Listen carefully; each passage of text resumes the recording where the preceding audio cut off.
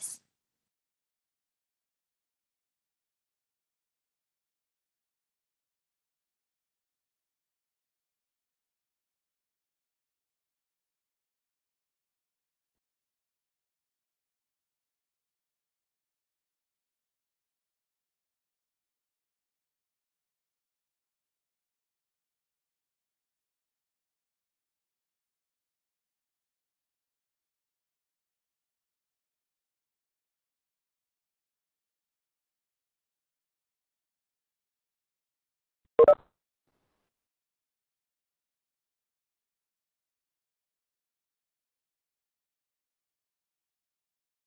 Yes.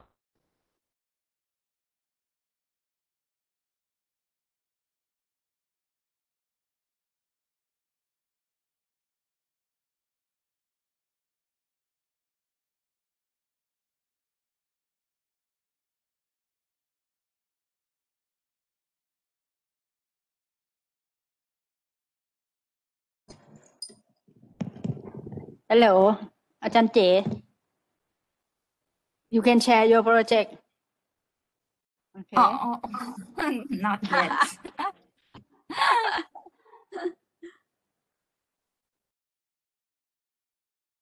welcome Dr. Chawalak we have colleagues from other university.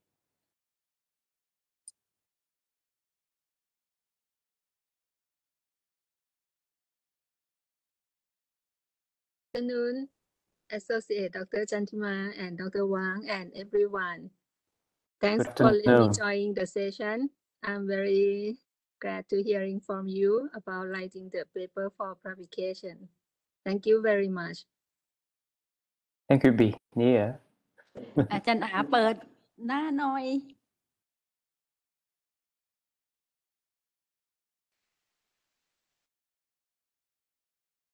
I do miss Thailand a lot as I travel to Thailand many times.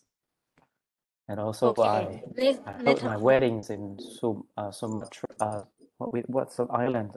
Sum, Sumala, or what's the island names? So I have very good connections with Thailand all the time.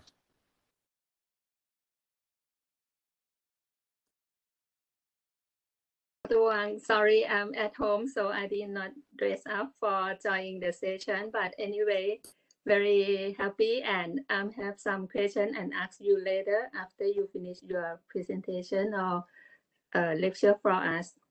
Thank you, Dr. Chantima, for letting me in and say hello to all students and wish you all can write a good paper.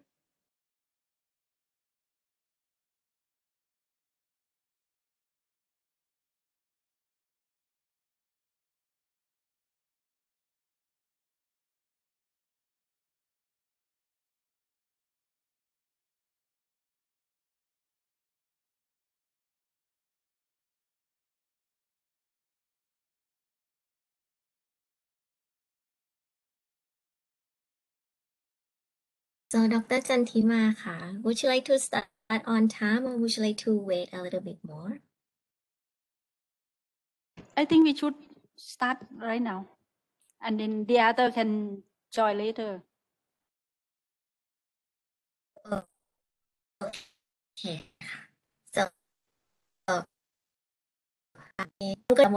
let me um officially welcome everyone, including Dr. Wang, to um, our UTCC Doctoral Communication as visiting professor lecturer 31 today. And we are so like glad and honored to have Dr. Wang here with us today, um, which he's going to deliver a topic on writing for publication effective research writing techniques.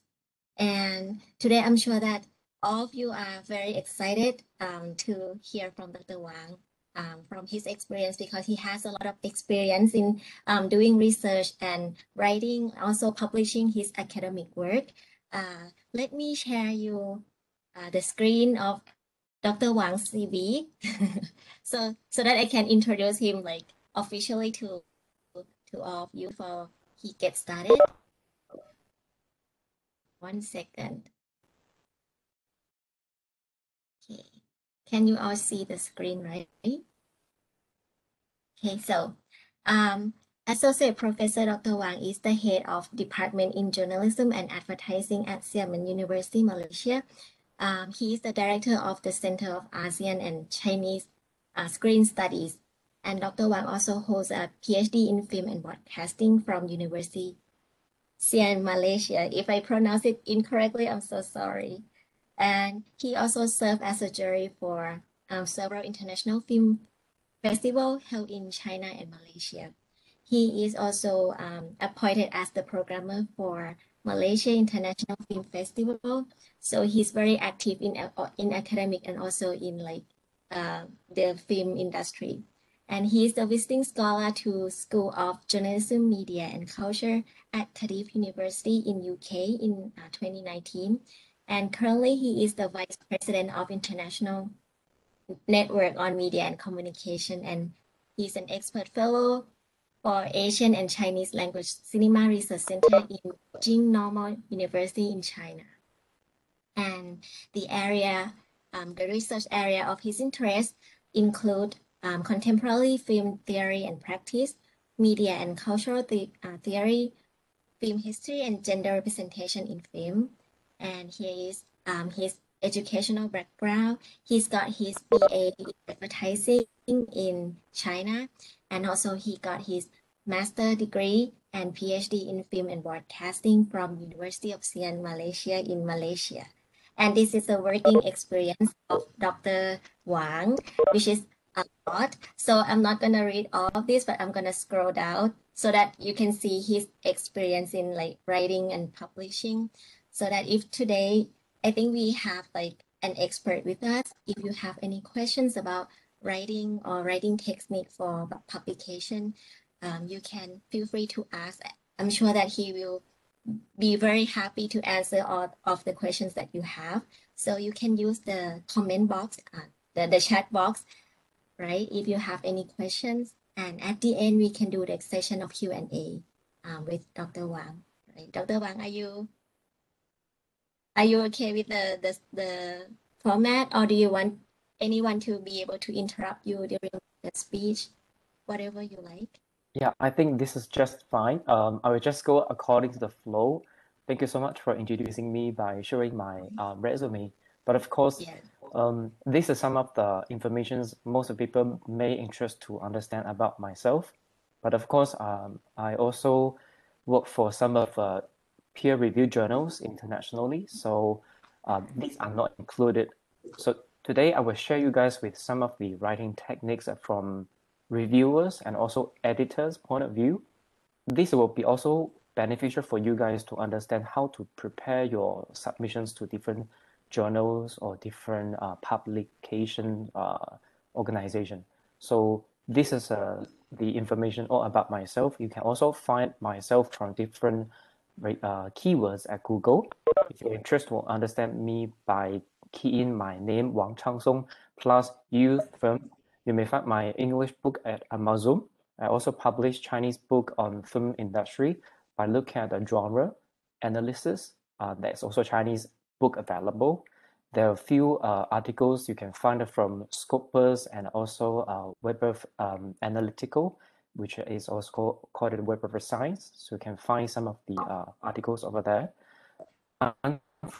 Unfortunately for the book chapters are you can access the uh, platform except the one which is published in 2020 you can search my name uh, Wang Changsong and you can also search the narrating sitting uh, which is the second one this is available at Google Book but for the rest is actually not really openly uh, accessible for the general public certainly um, I'm also engaging with the different organizations such as a film festival um, since Last year, I was appointed as a programmer for the only the only international film festival in Malaysia, which is called the Malaysia International Film Festival, MIFFest. This year, they also appointed me as a selection committee, which means I still involved with all the film selection. Um, very frequently, I were interviewed by different media by sharing my insights on the uh, politic, culture, media, and uh, some other aspect in general. And uh, I was uh, very actively to be exposed by, by media in both China and Malaysia.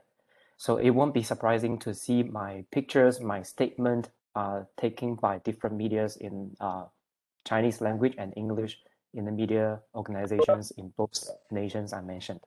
But today um, it's not about the, my own achievement, it's all about the things I wish to transfer to you as students who pursuing PhD studies at UTCC. And of course, this is also a session for people to refresh some of the point that your lecturer may share with you all. I certainly believe your lecturers give you a lot of guidance and also helpful instructions for you to complete a PhD research project. I understand in different institutions, you may also require to fulfill different conditions for graduation.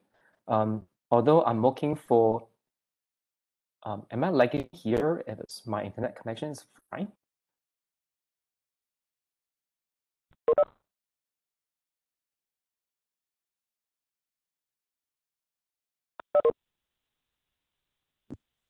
My internet connection is not stable, am I right?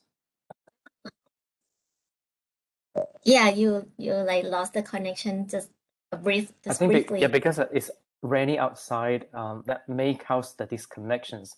Um, lately, the the weather in Malaysia is not stable. We always have the moody clouds and also rainy days, so it may happen. So if I face this kind of a problem, probably you can text in the chat box. I will be aware of this, and um, there will be different um, conditions because I'm not only work for Xiamen University as a head and also director over here, but I'm also helping um, University Malaya as the external PhD supervisor.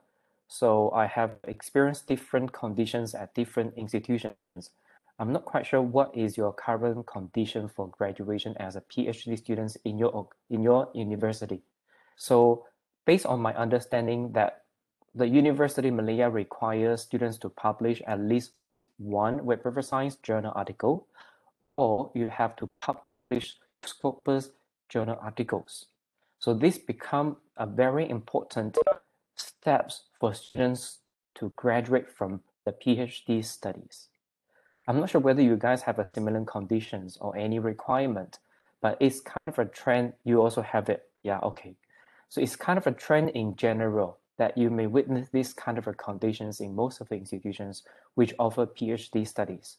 With that, we have to place our effort and also the right track to develop our writing skills, ensure we are able to publish something before graduation. So this becomes the reason why you are here. So hopefully this becomes something that you will be uh, feeling useful after listening to some of the point. But certainly, please allow me to share screen will see some of the point in a clear man in a clear manner.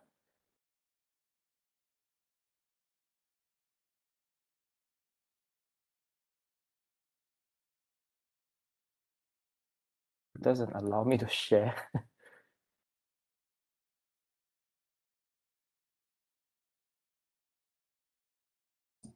We we can see you.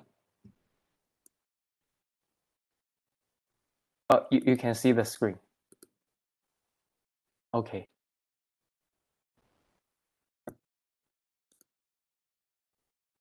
The topic, uh, the topic over here is all about writing for publication, and this become the goal for today that we are going to achieve, and that would become some of the things I also wish to start from two point of view.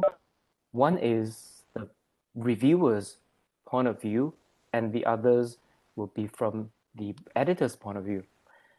Um, based on my experience as editor, I will always be the first person who take first glance of any submission. So there will be definitely certain criteria for me to check through according to the journal's requirement. However, as reviewer, we also have to ensure that this paper can definitely reach the qualifications as a ready paper. So if we do have certain disagreement or the way to justify the room for improvement, review will deserve right for uh, writing certain comments and feedback. And decisions could be made by the reviewers according to the quality of a submission. When this kind of process take place in publication, so we usually follow some of the principles are generally complied. Is that, am I still lagging here? Yeah, we can hear you clearly. And we see the Okay. 4A, yes. Okay. So we usually follow the 4A principle. It may not be the same or consistently the um, exactly from one organization or the journals, but we basically follow this kind of a principle, which is a 4A principle. This 4A principle primarily relies on aim, audience, awareness, and articulating. This becomes some of the things as a reviewer, as editors will check through whether you address these four A's clearly. As an article always have a certain objective, we do have an aim to achieve. But we have to understand this is something that I may not touch at this moment. I'm not here to guiding you guys to looking at how to construct, how to uh, how to make a feasible abstract or research goal. But this is something very general for you to understand that when you try to produce an article, you have to look at two possible scale. As editor and reviewer, we also try to look at these very carefully. If we try to look at your own benefits, that is including career funding and reputation. And this is the reason why we try to produce more good articles which potentially may generate citations and also discussions and also other forms of um, so-called uh, argument. Basically, if we are wishing to obtain a PhD, you are looking at this as a career path. Or maybe as a teaching staff, you are publishing the articles for confirming your own areas of expertise certainly when we try to get the supportive fundings from different organizations, either internally or externally, the publications become the M, also maybe the project itself can become the M. When we have all this clearly spelled out in your own personal scale, you actually are constructing your own reputations in the so-called domestic and also international platforms. But of course, we also have to understand when we try to produce a research project, does this also clearly address some of the knowledge that has been well discussed in the international scaling, which can allow you to discuss and address the gap in the existing study. That we that's reason why this is also the clear goal for you to achieve to emphasize or further the knowledge. This could be resulting, uh, the result could be used, tested, potentially influence the changes for policies. This is some of the things we also see very carefully. Um, I also write a lot of uh, articles based on invitation, um, as because maybe I understand some of them uh, know me very well um, since I start to do research. Some of them uh, may know me from the industries, events, functions, etc. So I have a different kind of invitations. I'm not sure whether this is existed in Thailand. It's like, okay, I am requested to write something. So when you are requested for journal, newspaper, magazine, the audiences will be different or vary from each other. So for example, if I'm writing something for the um, policymaker or is targeting the researchers like yourself, or even it can be talking to the lay audience. This can be very much more different from each other. For example, lately I published various of Chinese article for the uh, Chinese journals. The way I write Chinese article will be very much more different from the way I express my thought in English. I understand the way we compose and ideas will be very much more different. The way to convince the audience to take away my ideas will also very different. This is also lies on the language usages when you try to look at this is not included over here. But in general, when you look at these three pictures, policymakers, researchers, and lay audiences, that also determine you are looking at the different source of a publication. That also tells you to identify different journal in different way. This is a very important for you to understand what is actually the principles uh, for you to investigate and understand the particular invest the discipline of the journal. Second, if you're trying to produce article for the peers like yourself are researchers, you are trying to get the need for the general templates or formula that we usually use. However, if we try to address the issues or any phenomena to lay audience, it may even look at the geographic regions that particular publications will publish. So this is all about the audience. And certainly, when we try to produce an article, we also try to look at these uh, correlations. How will you take the existing research as one of the source to dig further? Or will you try to take these existing, existing research as a debate ground for you to critique the existing trend of a discussion? The existing research could be another source for you to identify the direction which can be applied according to the context that you are interested to explore. The existing research may also serve various functions for you to identify the variables for you to define the correlations. The existing research also can serve a function for you to understand the particular um, aspect for you to construct a survey questions or design any kind of open questions to understand and collect data. So the existing research becomes something that you have to be aware in the first place. When you try to get this understanding, you are potentially uh, able to contribute to the policy base if it's relevant to politics, or you are able even to influence the current issue. One of the things is focus on the wellness. And lastly, the articulating. The articulating is all about your ideas. How to articulate your ideas in the format that we recognize. We do understand different institutions may give students a guidelines or any kind of a forms of instructions. So we always well informed about the structure. So that's the reason why structure always come in first. Once we understand the logic and also the meaning of having such structure, you are only able to develop the ideas. The ideas could be based, could be developed based on the structure itself. If you're able to present and express ideas clearly and concisely, that would be definitely allows you to move to another le level. So this is reason I put all the, these things next to a staircase, which including the word count as well. So I may also ask you guys a very simple question looking at the word limit, how will you see these uh, PhD students when you try to explore the potential journals for publication? How will you see the relationship between the word limit and plagiarism result? Do you see any relations between this? If you see the relations, you can type one. If you do not see any clear relationship between the word count and the plagiarism requirement, you can type two. So I can see how many relationships. Um, yes, I see people take type one.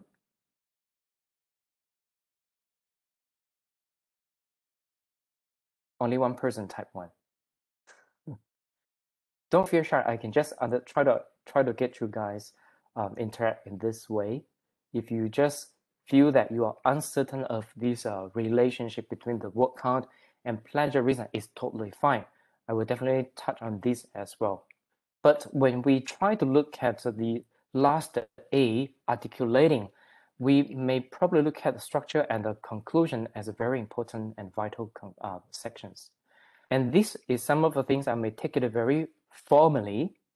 Um, perhaps you may find, oh, it's kind of a typical class or lecture, Dr. Wang use this kind of tune to express. So this is something that I need to be very official. As the editor and the reviewers, we always looking at this certain aspect which may determine the quality that fit to the requirement for publication. It can go beyond these four A's because we as researchers, we may have our own principles for any kind of a judgment, but it won't go away uh, from these four A's. So from these slides on Word, I will take it very casual and um, I can even chat with you guys. You can also speak if you wish to uh, interact with me.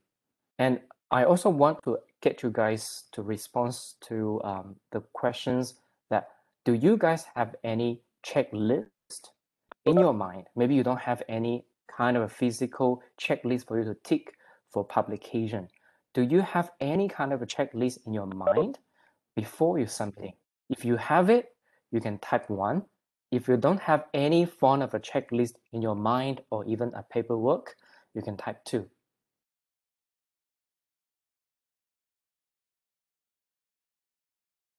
I want to see how many people type over there. Okay, two.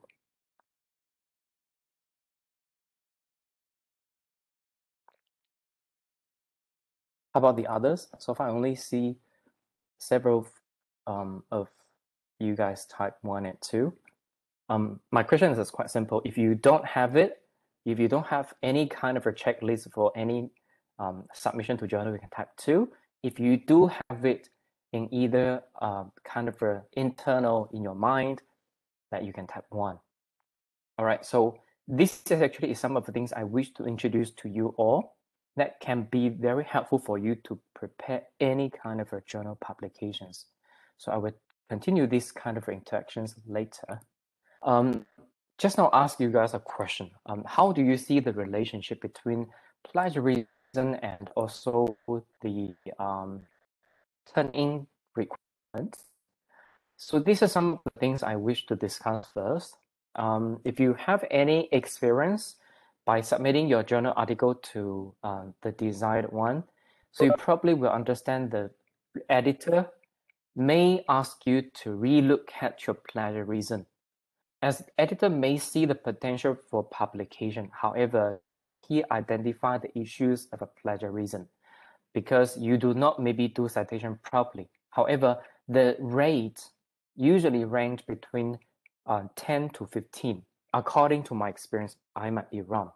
So depends on the word limit. For example, some of the journal only accept the article, which is around 5,000 words. If the article length is on only 5,000 words, it may reduce the require. It may the result for turning will be lower.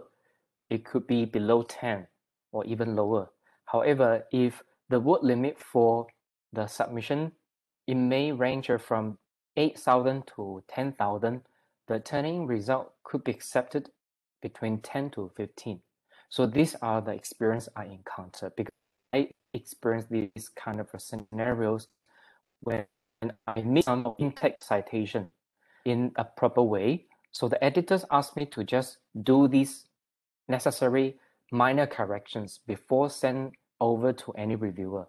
So the percentage of plagiarism will dramatically decrease when you reach this kind of a criteria, the editors are only to uh, to to proceed further, and that's also the reason why you have to ensure that you need to do a plagiarism test, which is called the plagiarism checker. You I also introduce later, but in this checklist, I speak from the point that is avoiding to do so, which means if you wish to do any publications, try to avoid these few points, which means if you avoid these few mistakes, you probably may secure a chance for publication. So that's why in the first place is screening. You have to do a technical screening. I'm not sure how many of you guys do this kind of technical screening.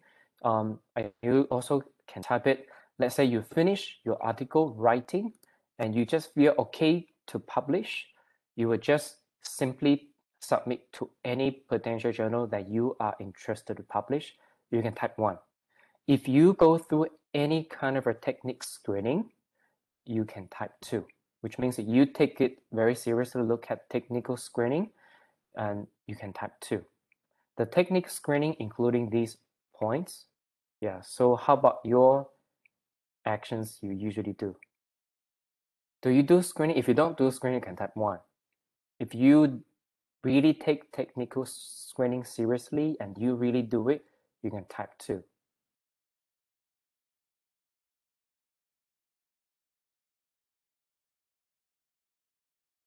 Very good. I see a lot of people doing technical screening. And this is actually a very important first step for you to prepare any submission. Um, I believe uh, these people who type in the chat box are lecturers, but I wish to see more re, uh, responses from PhD students. If you are in the stage for publications, you definitely need to take these into considerations. When you try to understand the potential journals, I encourage every one of you guys to explore certain things, which including the author guideline that is in the fourth item I listed over here. Most of the time, we always neglecting um, the author guideline. We trust our own uh, way of ideas, uh, expressions. We also trust our own, own ways to do uh, any kind of article organization. However, if you explore author guideline, you will understand this or that particular journal have their own templates or format. These are very clearly stated in the author guideline.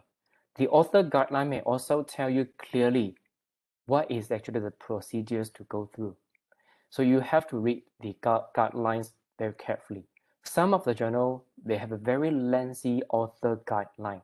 Some of them may not have any intentions to give you clear author guideline. It may happen to some of the very reputed journals as they follow the standard of this publication organization. For example, if you look at the Taylors and Francis, Taylors and Francis, they have a similar template of a submission. Um, are you guys familiar with this kind of a press? Taylors and Francis? You do, right? If you if you do heard about it, you can type one. If you don't, maybe you can type two.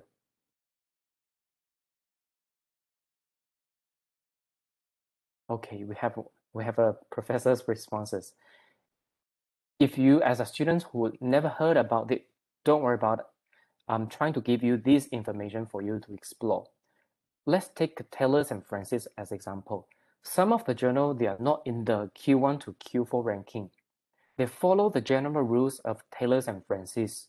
So if you click the author guideline, they may not have a very particular guideline underneath this journal. However, they may refer you to the general guideline by Taylors and Francis. It happened to many journals parked under Taylors and Francis. So this is another part for you to understand these organization's rules for author. This is beyond maybe one organization. You can also check through individual journals guidelines for authors. Um, I think uh, the one I I assist Professor uh, Jet, uh, Jatima is the one. I think the Scopus journal. is all about the public opinions. That one also one link called it author, which means most of the journals practice this very carefully and very professionally. So if you do not look at this very sincerely, it may give you desk rejection. These are the few keywords you have to take away. For example, if you try to submit your articles to journal, if your article does not meet the basic guidelines stated in the author's guideline, it may receive desk rejection, which means as editor, we deserve the right to reject your submission as we have no any reason to submit to reviewer for any processing or any kind of review process. So this is the reason why I encourage everyone you to look at author guideline. But for the other few items, submission into multiple journal, this is an ethical issue. If you are able to complete one article, however, you want to try to test this journal and try to submit to that the other journal at the same time or in a very close time frame, this is not a right way to do it. Uh, I just want to remind all of you guys, this is the, actually the publishing process. Every single submission, you have to declare that this submission even is not yet submit to any other journal for consideration. Because it may happen. It happened to some of the journals, they may have a same reviewer. I can be very uh, sincere to you all. I personally encountered one mistake like this many years ago um, that is kind of a chaotic situation. I submit one of the journal to one uh, of, I think it's a Q3 or Q4 or Q2 journal. And then I forget I submit this article to this journal because I always write few articles simultaneously. Uh, to be honest, I was in a progress period that I wish to publish as many as possible. So I write few articles at the same time. Once I finish, I have the necessary uh, procedures to do it. I submit to the journal. So one only happened one time. I submit to one of the journal, which is a Q2 or Q3 journal, and uh, it's under review. I don't have any desk rejection. This is very good sign. So which means editor are happy with the submission. So they send over to the reviewers. And eventually I discuss my articles with uh, another friends from another university. Um, as we attend one of the film festival event, after the event, we having dinner together. We discuss, I, I tell the, the other uh, friends that I'm writing this kind of article lately. And uh, yeah, he mentioned, yeah, why don't you try this journal? Because this journal is a very regional journal. However, it's very reputed. It's a Q4. It's not bad.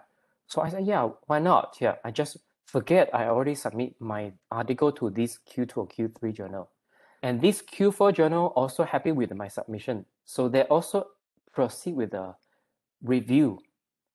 The very dramatic things happen. The editors write to me. We have a reviewer tell us that we have a two reviewers tell that they received the same submission from another journal. You can see how ashamed I feel with. So at that moment, I feel, oh my goodness, this is a very unethical. So what I have to do is to withdraw from all journals because I think I have a very bad record because I sub multiple journals with one submission. Certainly, this article didn't publish. I even didn't try to submit it as well because this is a topic that has a very limited numbers of a reviewer who are able to review for this kind of a good ranking journals the good ranking journals may have a pool of a reviewer. They may have a, these different expertise indications or indicators. So for example, Dr. Wang, for this journal, we understand his expertise area is this. Editors will look at these areas and also pass record and send over. So they have a pool of a reviewer. When they receive this kind of a submission with the same smell or ingredients, so they will send over to this particular kind of a coincidence. These two journals they sent over exactly the same two reviewers. So the reviewers tell the editor, this article I see from other journal. So these are some of the things I wish to remind everyone because you shouldn't make the same mistake as I did. It is actually can really, really influence your reputations. If it happens, let's say if I withdraw, I, I withdraw my submission. If some people we just prefer my article to be published by neglecting the, the ethical practice. It be published, another one published. So eventually, the people may see the similarities. It is called the self-plagiarism. This is unethical. So ensure that you do not submit your articles to multiple journal. Incomplete submission may happen. It happened because you do not understand completely about the guidelines. So you may not fulfill some of the components, which is actually very vital for this particular journal. So they may consider is incomplete submission. So you have to also refer to the guideline. Unclear figure and table happened to me only once. Um, it's actually moving towards the publication stage, which means it's even not uh, at the technical screening stage. Um, I just use the uh, software to generate the pictures and images and eventually, when the people doing the printing, they discover the image quality does not reach requirement. So luckily, they personally contact me for requesting a clearer version. So if happen as early at early age, you also potentially receive very critical comments. Um, this is very important. Language quality is some of the things as Asian we always maybe not that very particular, or sometimes we are very or extremely particular on as we try to express ourselves in another language that we are not really um, native as a native speaker. So I wish you guys to bear in mind that proofreading is very necessary. Proofreading is a process you have to do in the first place. This is technical screening. You may find different ways to do proofreading to ensure the quality of language. Number one, you can also try to explore some of the website which provide proofreading service. This including some of the reputed journals. If you search um, Elsevier or if you search Emerald, they do have their own proofreading service. After getting their service, they will even give you a certificate of proofreading. This is a kind of assurance of language fluencies. So this is a way for people to avoid any necessary or an, any unnecessary critical comments on language. So sometimes I'm myself beginning, I always neglecting necessary proofreading process. I would just try to have someone to help me to do check. But it happens that the language become the poisons of the article. So if people have a no pleasant feelings of reading your article as either editor or reviewer, they probably may not have reasons to let you pass. As an obligation that general reviewers or audiences will examine and also criticize on. So language become a very important foundation. Remember that I have a several checklists for you to take, but this become the first pleasure submission into multiple journal, incomplete submission, author guideline, unclear figure table, language. This becomes a very foundation for you to complete. If you wish to know how to do, let's say, um, plagiarism test, I will also tell you guys how to do it according to these three steps. I'm not quite sure how many of you guys heard of this uh, term called it a, um, I also want to guys type something. Have you do anything like a literature matrix? Have you heard of these uh, literature matrix? If you hear about literature, you don't hear any literature matrix, you can type two.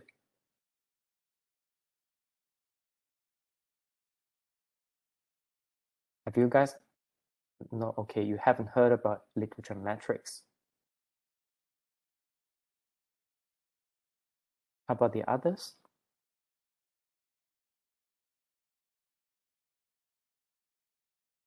Okay. All right. So I see a number of you type type two, which means you don't really hear. Uh, somebody type three, three meaning that you hear or, not hear.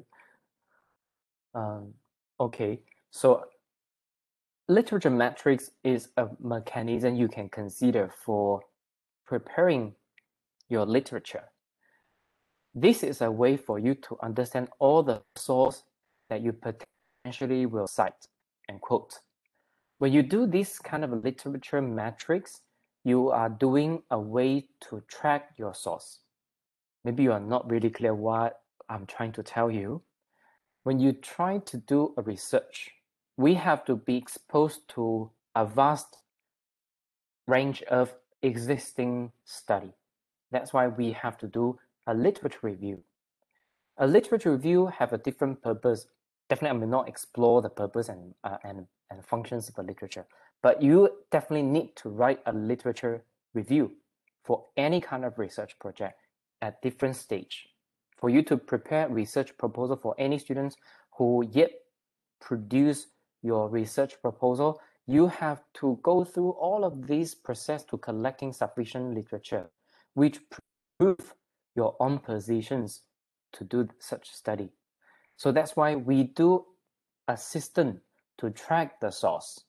Literature matrix has certain templates. If you're interested after the session, um, you can take down all the notes and search from Google. Literature metrics have a different templates to follow. You can go to Google and search all of this. They may give you different templates to do this job. But in another way, when you do these um, literature matrix, you already form a list of literature and it give you a clear understandings of existing studies, particular methodology, key arguments, audiences the article addressed to, and also type of study and etc. approaches. So many things you can type in these metrics. And also you are able to get these sources for this to, how to say, to, uh, to compose your own ideas. So when you do this, you are already make a very systematic organizations of the potential source or the existing source. Secondly, I want to introduce you guys to do quotation by using the double quotation mark. This is a very vital. some of the time we do understand the APA citation.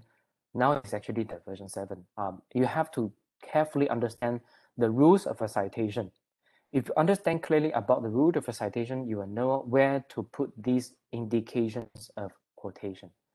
Some of the time, we also want to uh, express our own perceptions toward these statements or arguments by paragraphing. You also need to address the source at the end. I believe uh, I don't have any uh, slides to show how to do this. Um, it's not actually the purpose doing this kind of training, but you have to do this very carefully. I also want to ask you, maybe you can also speak if you wish to do. Let's say I use double uh, citation mark. What does that mean? If I mean, if I, I if I talk about paragraph, what does this mean? Can anyone tell me your understanding about these two? What are the differences? If you wish to speak and turn the microphone on, and we can speak to each other. Why we need to do paragraph, and uh, sometimes we do not do any paragraph uh, action. We just put it quote as a quotation.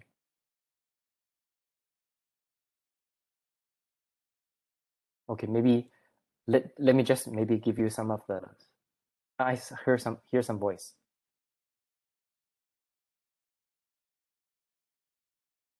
Oh no, okay, never mind. It's okay.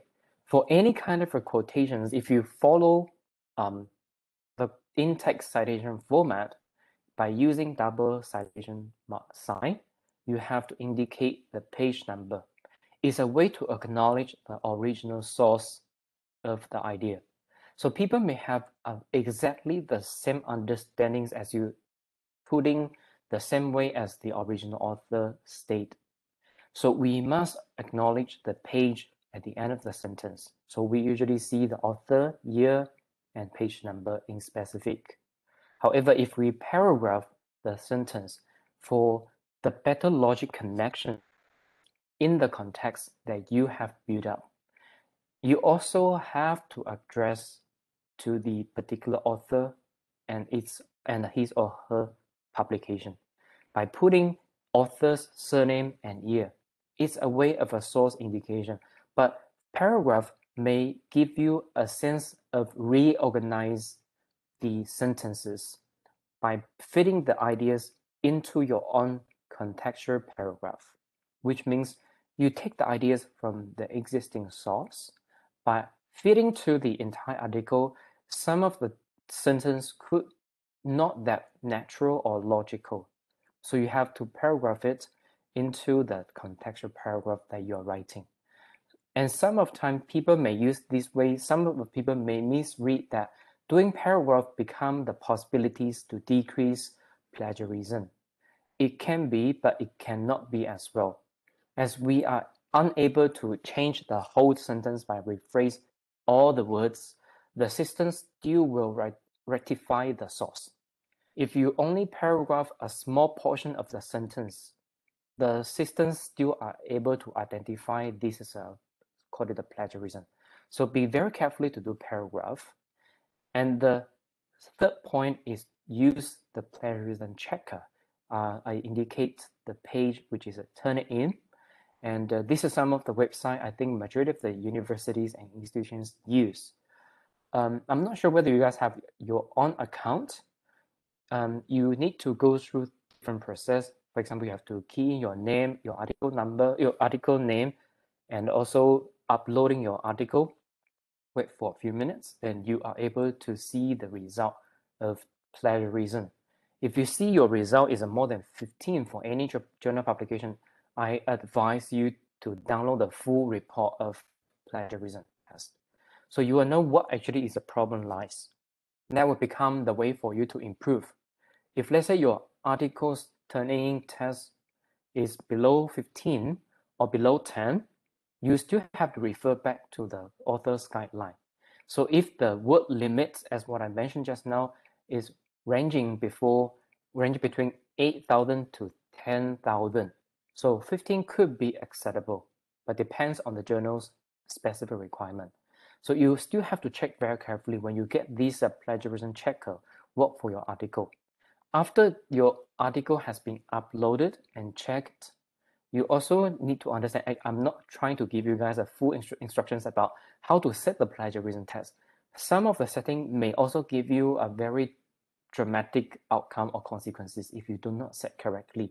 As the article was stored in the system, if your article has been stored in the system, it may bring very harmful consequence when you submit the journal to the uh, if you submit your article to the other journal which go through these uh, Turing tests the result will be extremely high because they may consider you cite someone um, already published or someone has been uploaded to the system so you have to make sure the setting is correct this part is very technical maybe you can explore from different videos and also different uh, uh, users of this Turing test system Usually this system will not really give to students to operate.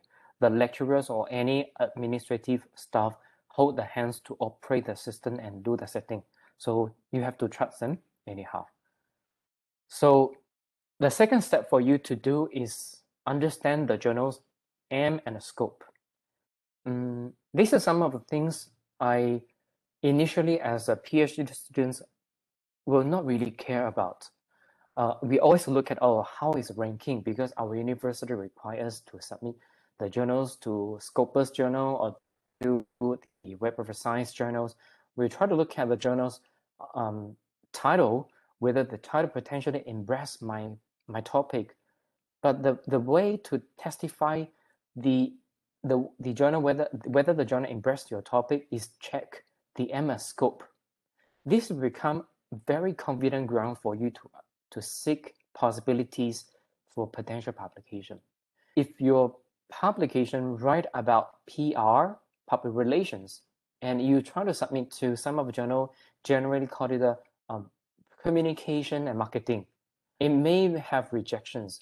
However, it may depends on the uh, journal's on scope. That's why we have to go to the website of the journal and check very carefully about the journal's aim and scope. These are the different examples. I, I couldn't remember what's actually, uh, it's actually communication and sports. Um, I couldn't exactly remember which uh, which publisher they publish. But this one uh, coming from Elsevier and also uh, Emerald and Sage. I think the last one is a very typical Sage page. So Sage have this kind of a layout. I think this is from uh, Taylors and Francis. So I purposely select the journals from different publisher. They have a different styles. However, even though they are from different publisher, they have different style, but none of them will neglect the aim and scope. They usually will place the journal description, journal metrics, or about the journal very close to the journal, which means it's a very important information for any potential users, audiences, researchers to understand, as this is actually the place for you to see the matching point of your submission. So for instance, in this journal, Sport, Communication, and Sport, from the title itself, you already understand, oh, okay, this journal, uh, the one which accepting uh, the publications about communication, sport, in general. This but this journal may give you a very specific explanation in the second paragraph. They will tell you this journal examines both communication in sport and communication of sport. You can see these are the different, they purposely use italic to tell you the differences. By considering sport in light of a communication process, strategies, industries, taxes, and reception. These are the keywords for you to understand whether my publications could fit to any one of this.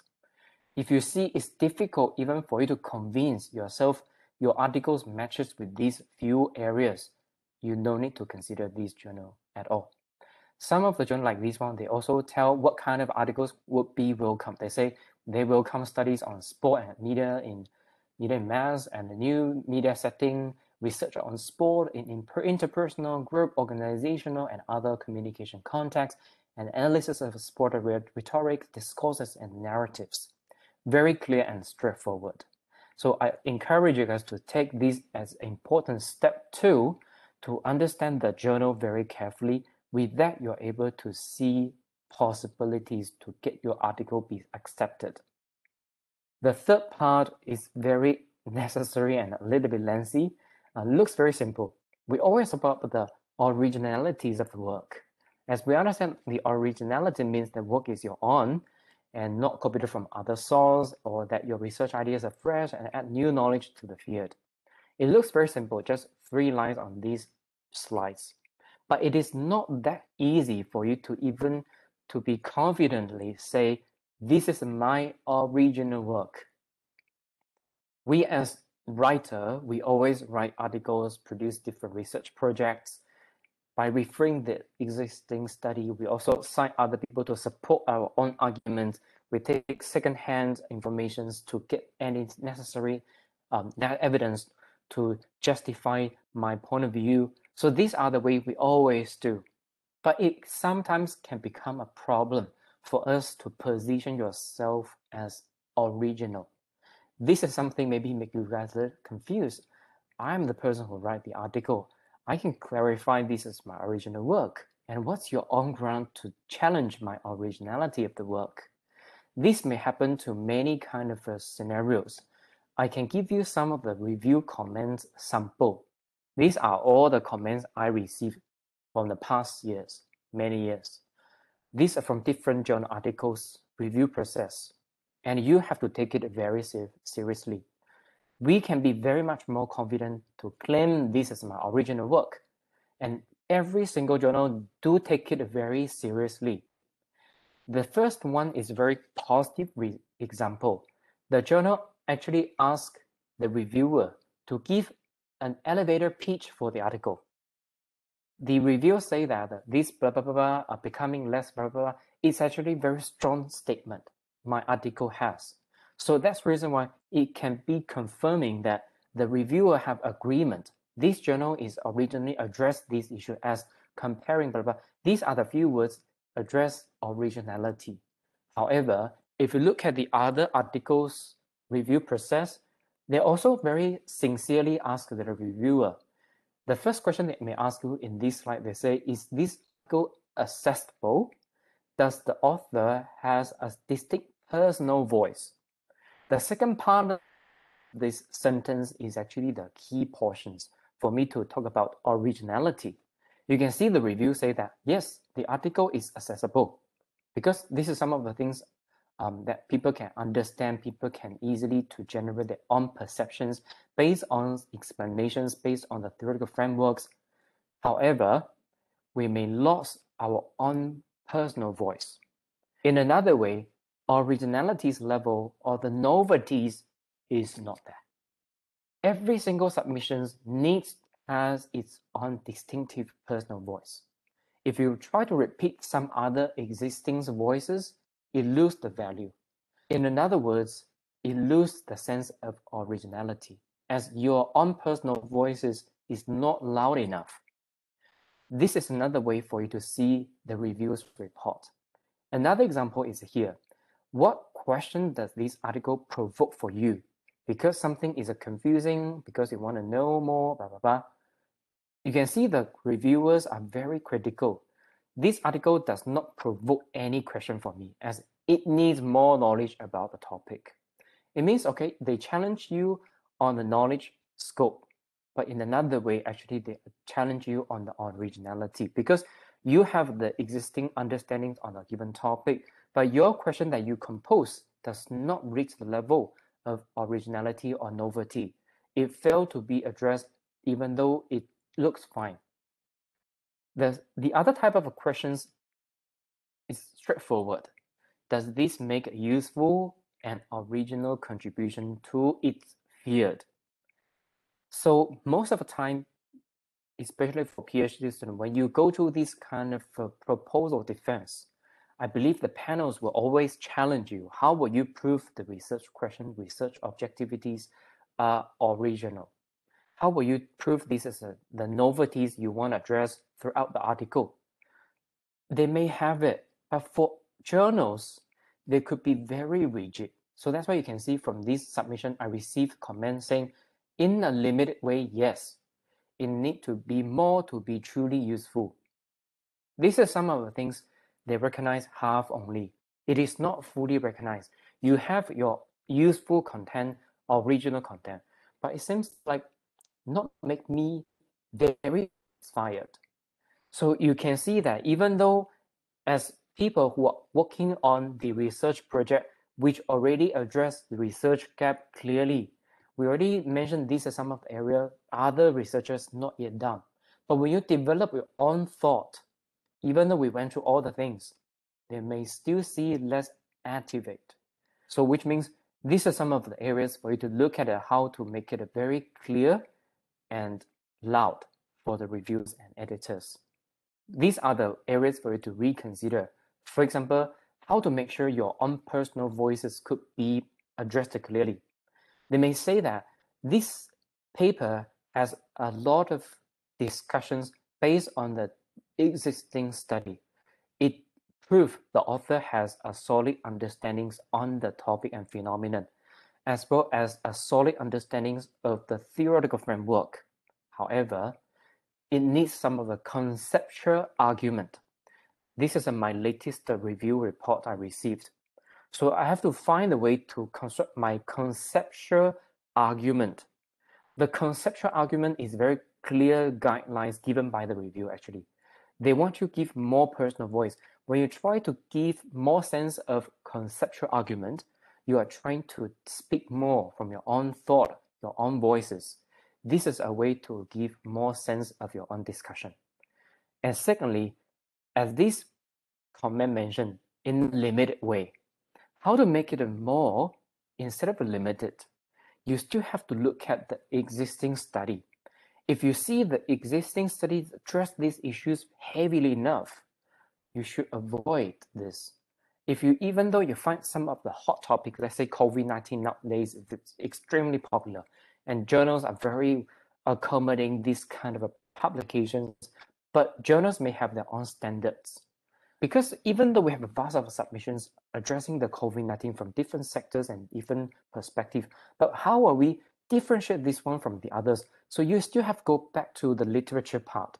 By doing literature matrix, I mentioned just now, introducing you to do the literature matrix as a way to identify the primary key arguments of that particular article. It will become a system. You can doing it's it's more like you are doing like a thematic analysis. If you're collecting all the interview script, you're doing thematic analysis, you understand all of this. It's more like the similar process. You have to understand all these key points through all these kind of collections. This may differentiate your article from the others. So it make your articles much more original instead of limited ways. Yes. So this is some of the, um, can you guys understand what I'm trying to talk about? Do you guys have any difficulties to understand the point? Okay, so far? Are you okay with that?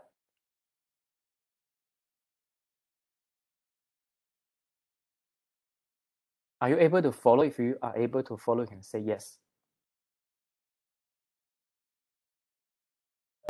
Yes, but can I ask the question now? It's Sure, sure, sure. I'm personally curious about the originality. So we can make our like Yes, conceptual argument in the discussion part, right? Or correct. or we can do it in the like literature review part. I think both part needs this kind of a accent. Some of the journal they even do not have a literature review. Um, if you try to browse some of uh, article publications, it may not have a literature review section. So what they do is to merge this inter, uh, literature review with introduction as a background. The background always serve a function to tell the necessary context. The context could be the existing study or the, the phenomenon you address or the relevant uh, national or regional issues that you want to speak about. So this part, you need to make sure your own voice is very clear. When you try to put others' statement in the introduction. Even though some of the journal may have accommodation for literature review, it doesn't mean the literature review should be a summative writing style. This is not correct. The journals wishes you to be the person evaluate, judge, elaborate, criticize, and also even assess the articles that you put into the literature section. Which means by doing these things, you have to make your own distinctive personal voice. In the process of a critic or in the process of elaborations, you are doing your own contributions accordingly. That's also the reason why it's also the section we wish to see your personal voice, even though in the introduction, literature review, we certainly understand for the discussion portion, we give all the points, we our, our own original thought in that particular section. That part is very heavily address the originality. So some of the authors may neglecting the way to write literature review and introduction. So these are the reasons Actually, these are the tricks I, I do because if the reviewers see that I have a less distinct personal voice, I will try to impress you in the first few sections. In the first sections, let's say introduction, background, literature review, I try to give you a sense of my personal voice, which means I have vast exposures to this existing study. Nevertheless, I still have my own personal voice, which is differentiated from the existing study that bring the values of, uh, of the research. So this will be the important step for you to adopt. Certainly, when you have this kind of promising promise made in the beginning and also identify the research gap in the literature process, you have to make your promise to be fulfilled in the discussions and findings or results. And there will be another heavy portions to prove these are clearly addressed. These are systematically discussed. When you try to do all of this, the originalities will be hardly to challenged. Yeah. So which means your personal voices cannot be reflected in the findings, results, and discussion sections. It could be earlier part of your article, even though the theoretical framework, literature review, and even methodology the methodology part also could have a chance to give you on personal voice. Let's say usually this kind of a subject is majored in this approach. However, by doing such approach adopted from kind of a justification ground you did, then you do this kind of uh, explorations by using this methodology. So it also adding more personal voices as well. So you could see throughout the whole uh, writing of your article, does give you various of chances to address your distinct personal voice. Did you get what I'm trying to tell you? Yes, thank you. Yeah, you're welcome. So far, how about the others? Uh, Professor, may I have some questions? Yes. Uh, I Sure. believe a student might confuse about the contribution, implication, and articulation. Uh, besides, the discussion is very different from implication, right? Yes, you're right. I- I- Implications. you, you go ahead. Yes, I please. Add another a little bit. I have experience uh, in the tradi- traditional way of writing the journal in Thailand. We put more emphasis on discussion, but now it's very different. Discussion can be at the introduction.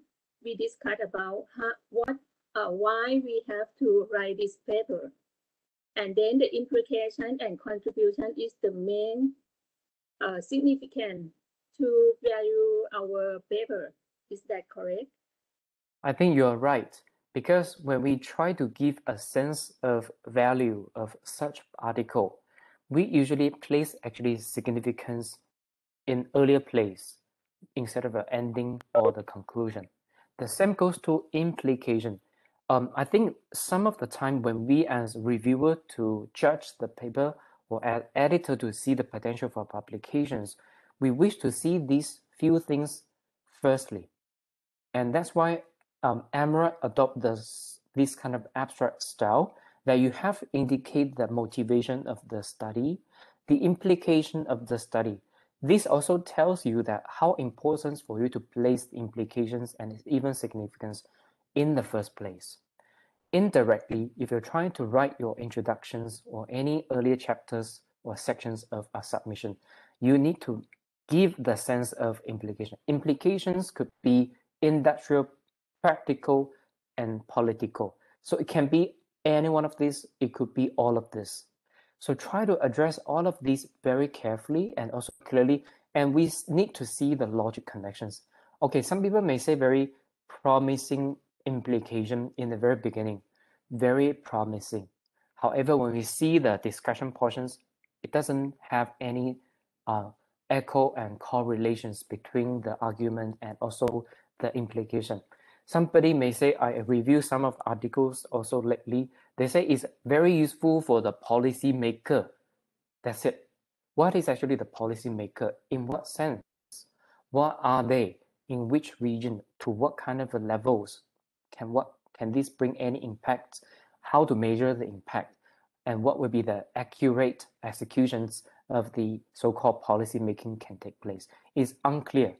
So we can make things very promising by stating clearly in the beginning, but eventually we still need to judge as review and an editor. So we, if we do not see this, it doesn't serve any purpose of placing all these in the early sections of the submission. So this is actually the trend now. Um, I think even writing, uh, not only maybe, maybe in time, uh, I'm writing for the, some of the Chinese top ranking journals. I also need to position my articles in the very promising in the very first, but I also need to give a sense of my exposure to the literature, which means I do not simply give justifications. I have to get some ground to give such justifications. So always refer to some of the um, the representative or that's where uh, the reason if you try to build up the literature matrix, um, I encourage every single PhD students to identify the key scholars in this particular field. You have to track all the publications by these uh, few select uh, few scholars. This is very important. When you try to understand the, the so-called the track of publication of this scholar, you will understand how these ideas is developed. And you will understand how these authors are influencing the others to construct their own ideas accordingly if you're able to identify these kind of scholars or any authors, it will be very helpful. By doing this kind of things, if you bombard the reviewers with this kind of exposures, it would be very good. Which means I have very solid ground to make these kind of values and implications.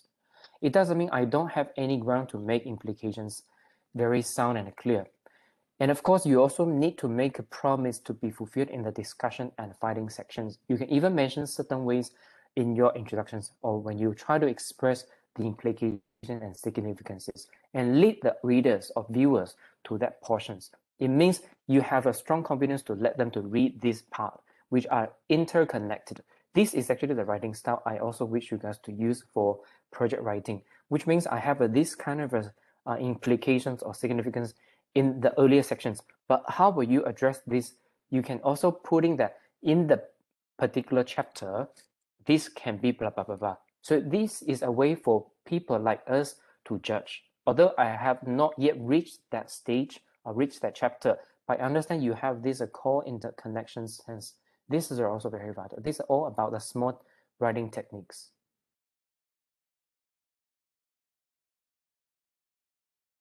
Thank you very much. You're welcome. Any other question? Because I think the third part is also the very difficult part. That's why I, I purposely to choose four uh, review reports, different styles, but they may have a different ways to challenge the originalities. And the novelties is some of the things that we always highlighted in any kind of research projects. And uh, that's also the reason I introduced you to do the literature matrix. Later, you will know how valuable to do this. Okay, so let's move on. If you have questions, you can also definitely stop me for a while and this is also relevant to the literature review actually. Um, we when we try to make a very good research, we always have a very wonderful motivations. As a reviewer, we always see the values of motivations a lot. But I also have some conversations with uh, postgraduate students from other universities. Um, I remember one of them also talk about his or her own findings about some of the phenomenon in the market itself, but it's actually lack of academic sense. So for instance, we do have our own working experience in the industry. We see as a problem or even we see as a phenomenon. We even don't see as a problem. We just see interesting. Somebody may treat the interesting phenomenon as a motivation. I'm not encouraged to do it. So if you find some of the things interesting, it does have its maybe um, reasons to be existed. So you try to dig further, can be some of the things you can address and discuss, certainly can. But you also have to get some of the ground to justify whether this phenomenon deserve academic study or any kind of a systematic measures or any form of empirical explorations. So all the questions you have to be carefully addressed. If you just see this as an interesting phenomenon and you lack of any kind of foundation as what I described, you won't be possible for you to sell the boat together with your supervisor. I could see it would be very difficult for you to make your even objective or hypothesis for either qualitative or quantitative study. This is the reason why go back to the literature. This is the reason why I purposely highlight the literature once again. We may, we may witness various of interesting motivations around you because we are human beings, study communication and media. We witness this kind of industrial phenomenon. We witness this kind of scenarios in the audience sectors. We witness this kind of a trend, but how will we make it as academic study? It needs a scientific method to measure and explore. So this is the reason why you need to be carefully and through when you build up this kind of hypothesis or research objective. Maybe the literature is the only source for you to confirm the way to develop such study. So this is the reason why literature always plays as a very important foundation for you to move further. This is a very common mistake we also made as well. I also want to show you guys a review report about this part. Structure and the lack of focus is a major of in this essay. They are the statement made but no elucidation and a close analysis of the film. The author rely on a lot of quoting the work of others and his or her own voice is buried under the deluge of the existing literature. When it seems as if the author is about to make original point, sure he undercuts himself by quoting someone else. This is also relevant to the third point about originality. But this is also the reason why if you try to look at the work that has been done by the others, it becomes the very possible um, ways for you to do similar research objective. As I supervise more and more students who study Marvel's film, a lot of the students are interested to explore black or the female superheroes. But if you try to look at these two, either on looking at the race or the gender perspective, they have been heavily discussed. They may already been existed for a quite some time. So it's very challenging for students to come up with a new statement or even a new objective, as you always focus on the race depicted in the Marvel's series. Marvel's has a limited collections. It always have these limited numbers of films. You may talk about the Black Panther. You always talk about the Black Panther, how they depict the African American, how they depict the black. There are vast of studies. If you always focus on how these address, uh, how the uh, what's a, maybe my student always, uh, I want to discuss the representation of the black in uh, Marvels. But my question is, how will you position your study from the existing study is unclear. So this is unacceptable. The same goes to the genders. Okay, the female super superwoman. Maybe you are using the different um, feminist theory, but there are also others use same same theory to explore. It means it's repeated. You're quoting from the others. So you try to avoid this kind of a statement of research goal and objective. And this is a, some of the mistake we always do. Um, I do have some of the part for you to explore together. Um, I'm not sure whether I can share these files here. Let me try to share whether I can share files it's about a website. I want you guys to look at the uh, abstract first, and then we can discuss. Maybe I can try to open the article.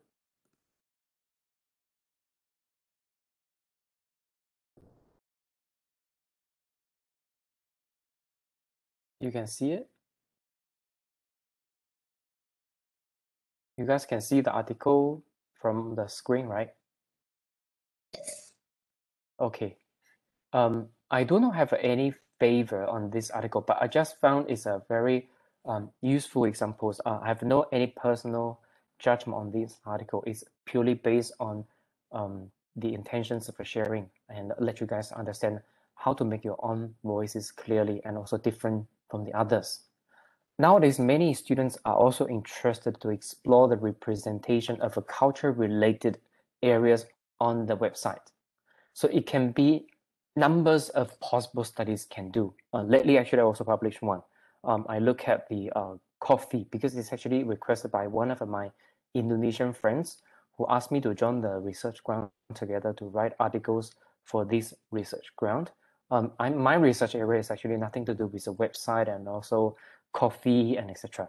But um, it's purely based on the um, the interest of the research ground that we are working together. So I also explore the website. I, that's why I discover there's so many existing studies about the culture perspective or culture elements and their representations on the website. And this is one of them. And I believe in Thailand, you also may have a similar study how Thai Airways is representing itself on the website, how the corporate communication is down, and how they manage any kind of, uh, uh, let's say, the crisis. Um, if the, let's say, the COVID-19, Thai Airways take these kind of services to the ground. So these are the things they are doing, and people may take it as a research as well, and they may look at the representation of these particular subjects. And this is a, one of the research which look at one location uh, tourism. And uh, this is uh, the research methodology clearly uh, stated in the, in the, in the title. And these some of the things maybe I can extend a little bit. This title is very clear. Um, it tells you what is actually the tomb of writing. If you understand the Stokes uh, culture theory, they may use a lot of representation of culture, blah, blah, culture, blah, blah. So adopt this kind of a sense of writing a title.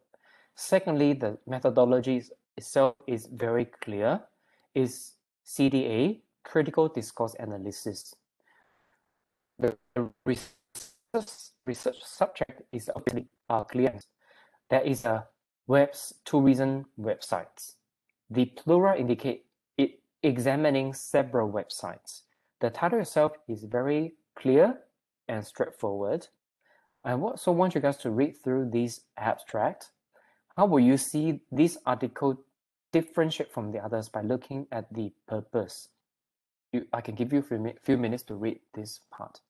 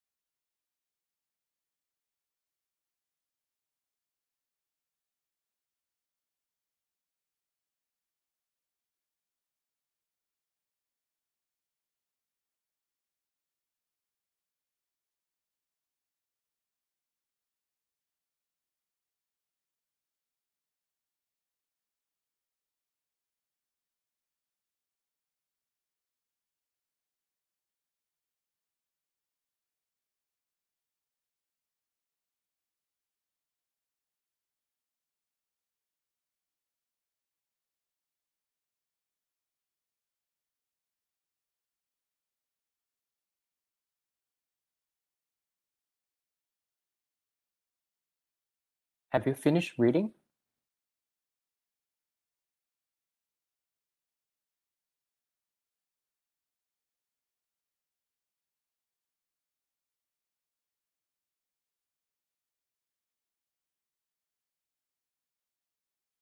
Oh, okay. Somebody said finish reading. Uh, maybe I can ask you, Tom, how do you read this article's objective? Which is over here. you can just personally um, express your own thought. It's fine. How do you see this uh, purpose of the study?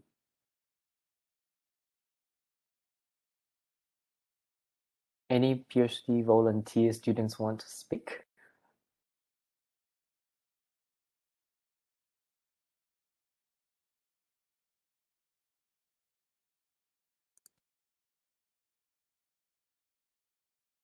Uh, since just now I see somebody participants reply yet.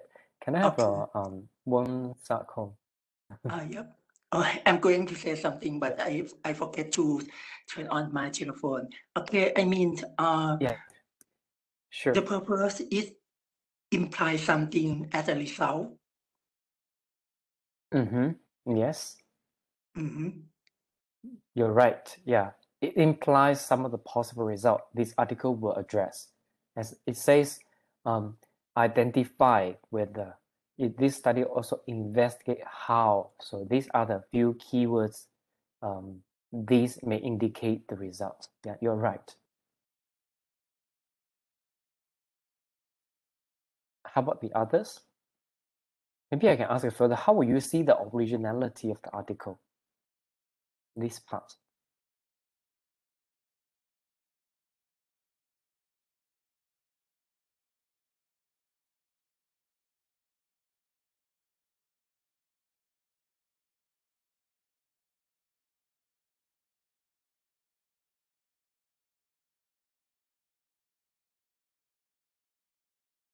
Actually, this actually is a this part for me make more sense to position its value because they say that my, my this is actually kind of findings.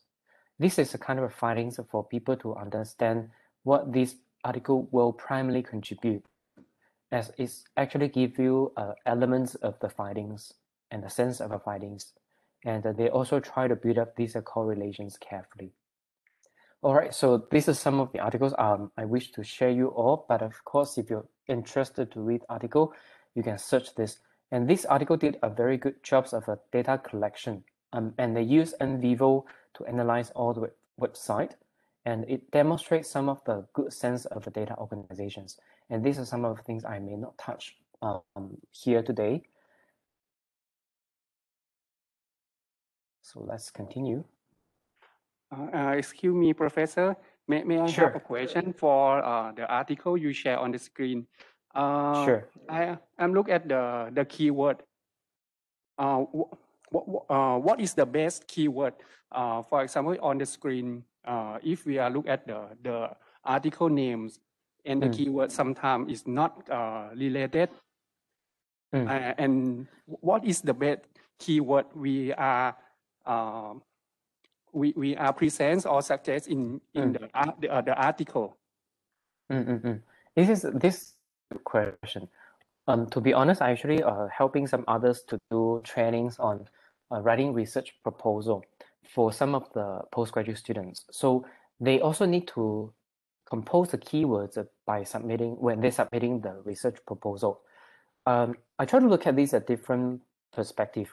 Let's say looking at the research title, you put out, point out some of the keymo- keywords may have less relations with the key with the title, but some of them may ref- well reflect in the title itself. It purely depends on how the article will address in its findings and also um, discussion sections. So if this article has very clearly tell you about the research subjects, what is the main subject this article will discuss? For this case is Cyprus. So they talk about Cyprus, they will definitely place this research subject as the keywords. But secondly, this article wishes to highlight its methodology very clearly in article title. For example, in the article title, it does not tell this article examine the case in Cyprus. It's not there. But in the article itself, we understand the topic uh, not reflecting Cyprus, but is only focusing Cyprus. That's why in the keyword itself, you need to give a reader a good sense of the context you are focused on. If focus on one single subject, it's better for you to address in the first place. So it may avoid any kind of a confusion. So for this case, this is a good job. They did Cyprus at the first keywords. And secondly, in the title itself, you can see the methodology has been placed as subheading, critical discourse analysis. So it tells what kind of a method, what kind of a scientific measures I'm going to use. So the methodology come at the second. Actually, for this methodology, it can come later or any part, but this is actually reflecting in the title itself. It needs, it deserves an earlier place in the keyword portion. So sec, thirdly, they put cultural tourism because these are some of the theoretical or conceptual foundations for this develop for this study to develop further. That's why it needs to give up space for cultural tourism. These are the tools, which is NVivo and what are the source of information web content. These are the things this website, uh, sorry, this abstract trying to employ for doing a keywords writing. So remember some of the principles. You need to give a readers a sense of research subject. Let's say if you focus on uh, some of the particular media in Thailand, let's say you're looking at the streaming media what is actually the specific streaming media you're looking at. You can name it them. You can just name it. If you're looking at a general pictures of streaming media in Thailand, you can put in streaming media at your first place. But we understand you're looking at Thailand as your context, as your geographic context. You can also place Thailand as your keywords. What would be the method for you to do measure and a discussion? So you need to brief us the particular method and approach. And thirdly, what are the conceptual or the theoretical foundations for you to develop? You even can put the relevant theoretical and conceptual keywords eh, over there. And lastly, you can consider some other supplementary informations you need to inform the readers. So these are the basic import, important uh, areas for you to do a keywords writing. Yeah. Thank you, Kap. Yeah. Do you do you write your keywords for your paper already?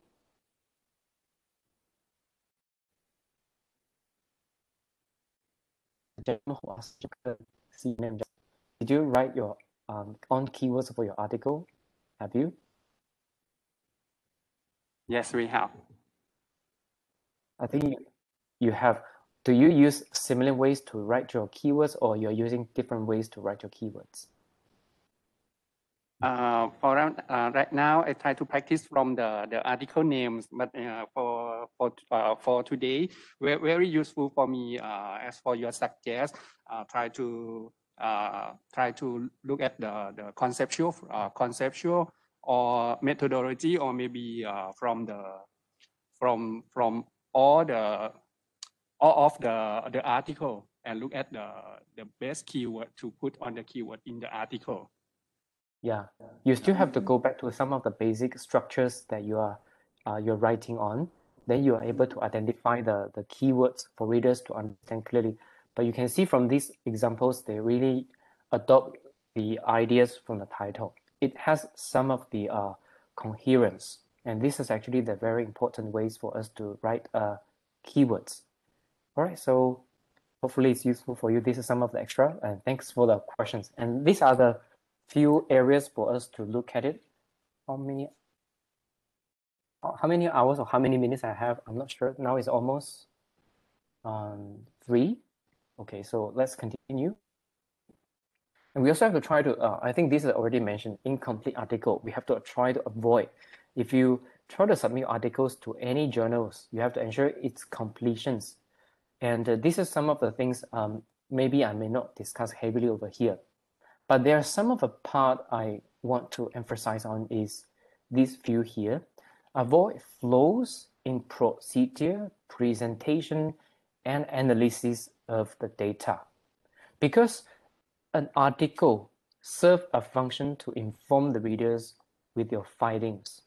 When we try to inform readers about your findings and discussions, it needs to give a sense of procedures how you achieve this, how you collect the data, and how you move from one location to another, and how you make this research become possible, and how you do this. So the procedure of the data explanations should be there. And the way to present all of these data is also very important. I believe your lecturers may also give you different trainings on that. Even for writing an article for journal publications, it has the same principle. When we try to give a sense of a structure of writing research project, chapter one is chapter, uh, chapter one is introduction, chapter two, literature review, chapter three, methodology, chapter four is your findings, chapter findings or maybe uh, results. Chapter five is your discussions. So it actually have a sense of a structure. The same goes to your article for journal publication. It needs to give a sense of procedures. The procedures primarily not only on the quantitative data collection, but also applicable to qualitative data.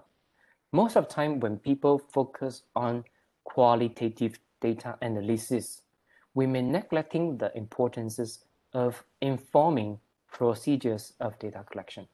I understand we have a different ways of collecting data from qualitative, but it needs a sense of procedure as well. This is part I wish to highlight because for quantitative, I may not have any necessities to extend my discussions.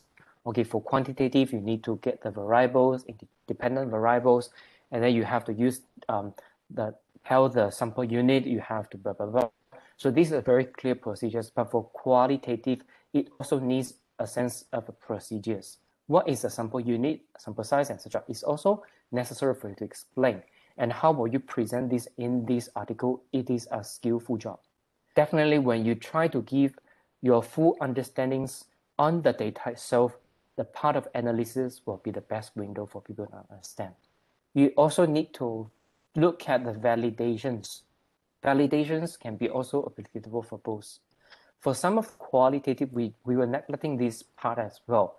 But when you do when you do discussions, you need also try to find a supportive ground for for, for this particular point or arguments.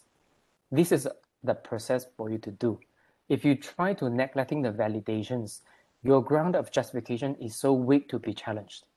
People may have simply to make a conclusion. This is an article lack of validations, which means it does not have the values and implications that you made in the beginning.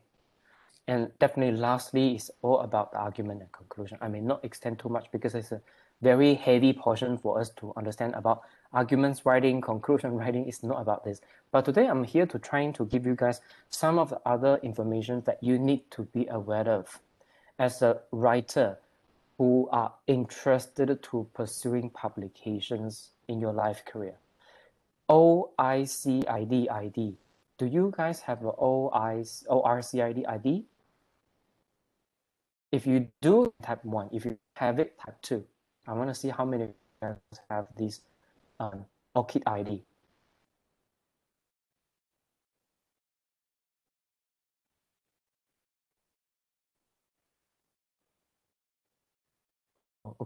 many have okay.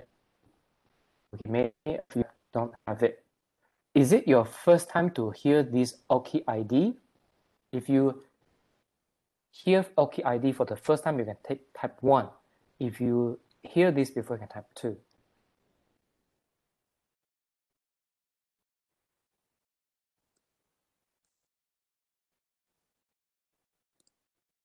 okay someone type 1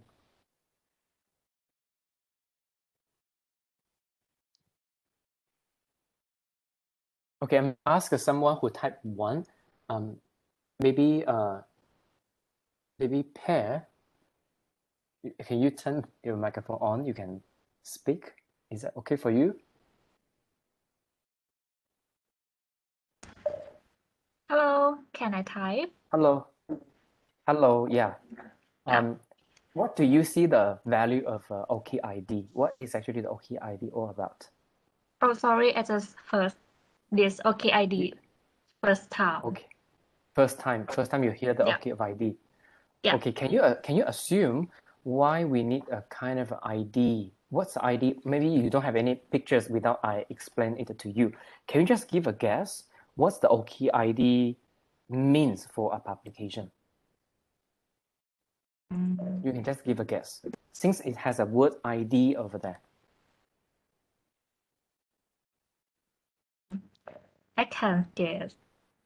You, you can't guess, right? Okay. Yeah. Maybe I can maybe I can ask someone who, who know about Can you it. can you show can you show a bit? You can key in the website. For those who haven't uh, um, heard about ORCID, you can go to the website. Uh, it's actually over here. You can type orcid.org. Okay. Yeah.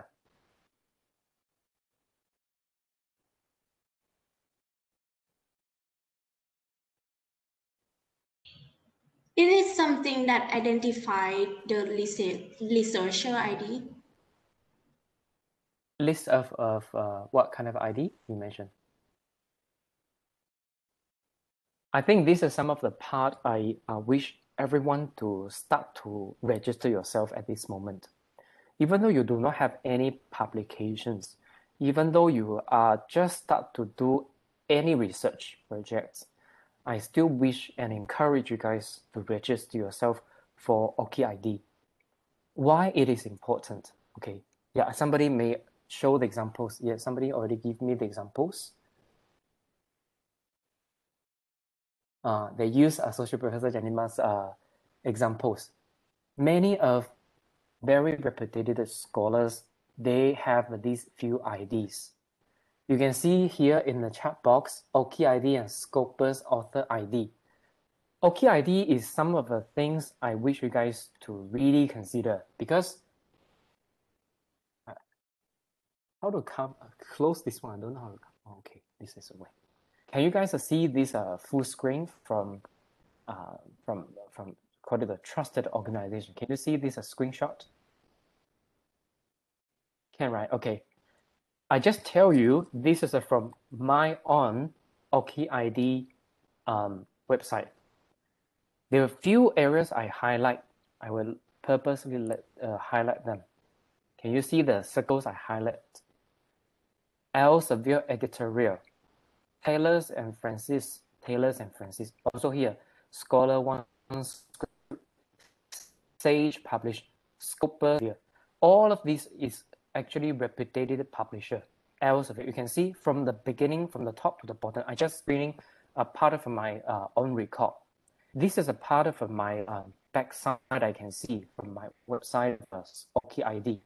It indicates that who are the people reviewing my ORCID you will know who are these people looking at your ORCID at what time. So you can see in the early time, 2013, uh, I registered myself quite earlier.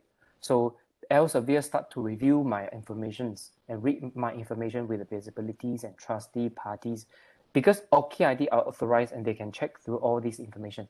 These are the site to display your own particulars. Your particulars not only about your biography, your education, your um, industry experience, your membership, and your um, kind of working experience, publication is actually the most important part for these publishers to check. And that's also the purpose for them to check. If you try to understand this backside image, you will understand how important for an author to have their own ORCID. It will become the site for the reputed publishers to understand your record of publication. They will understand how this author takes care of his or her own publication. It may tell how read them as the owner of the article. Maybe you, you already signed the copyright transfer uh, to the relevant and respect journals, but you still definitely are able to publish the titles in this kind of a website. So they will know this kind of a site may potentially attract attentions for citation, for sharing, for what kind of occasions. So this is reason why ORCID may give a re- maybe uh, publishers a chance to understand you. And definitely, when you have an ORCID, it will become a place for you to be recognized among the peers who are doing study in the global scale. In most of the journal like these images displayed, uh, this is a journal called the International Journal for Strategic Communication, and this is from Taylor and Francis. This is uh, the icon of the ORCID next to the email address, which means whoever look at this article may potentially click this button and look at your profiles. And it may give an, an, a reader, viewers, a readers a chance to look at your publication track and your educational qualifications and others you wish to be announced. However, it doesn't mean the people who do not have ORCID ID does not deserve chance for publication. The same journal in 2021, this year, International Journal of Strategic Communication, they also publish authors who do not have ORCID ID. So this is not the ground for people to justify whether you deserve better chance for publication or you don't deserve it. But it's a, actually a credit that you give to yourself that I have this kind of a system for me to organize my publication record.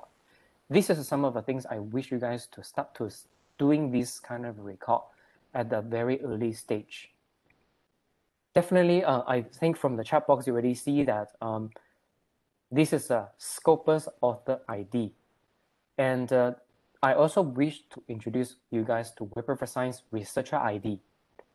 If you publish any articles by Scopus and or Web Science, you will have your own ID, which is also connected with your ORCID ID.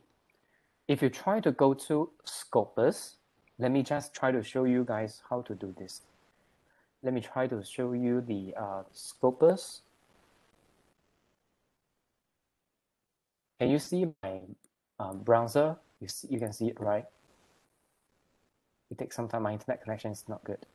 Okay, so let's say there are a few ways for you to understand the journal, whether they are in the Scopus. If you're interested to understand the journal, go to here, view journal ranking or go to source.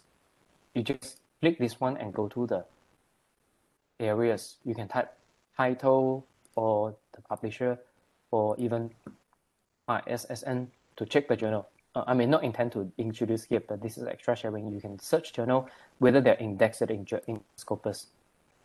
But there will be another portion for you guys to check the authors. Let me just try to use my own information as example.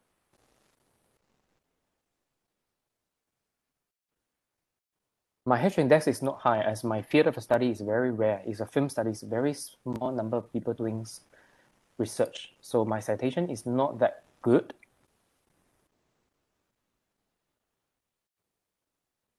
So this side will indicate the number of articles that have already recognized by Scopus, and they also indicate how many people already cite your article accordingly.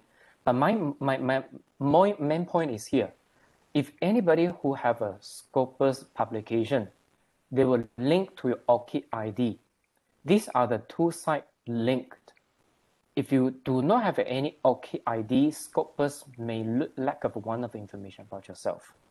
So definitely, I do understand you wish to publish your own articles at least by Scopus. So that's why I encourage you guys to at least to start your ORCID ID first. When you try to submit article, some of the submission system will require you to key in your ORCID ID. It happened to my latest publications. They requires you to key in your own ORCID ID. So when you key in the ORCID ID, the publisher will connect your ORCID ID to the article in specific, which means they already have one of the technical mechanism to connect yourself with article that you publish. It becomes the ID card in your hand. The ID card will be consistently used for different platforms. That give you a chance to be connected in these few platforms. The same goes to the Web of Science Research ID. Um, how many of the lecturers have this uh, research ID? Web of Science Research ID? Maybe um, if you have it, maybe you understand what I'm trying to tell you. To do this information, I also introduced another site, which is Publons. Have you heard of this site before? If you hear about Publons before, you can type one. If you haven't heard any about you can type. How many guys hear about this site? Have you heard about Publons? If you hear about it, you can type one. Okay, somebody type one. Wonderful. I have one people reply. If you don't have chance to hear about it, this is the website. Go to the site. Um, you can type. I think you have a computer with you. You can just type this P U B L O N S, and this is the website. Then you can log in. So I've already have my own account. So you you need to register yourself. Then you are able to only log into this system.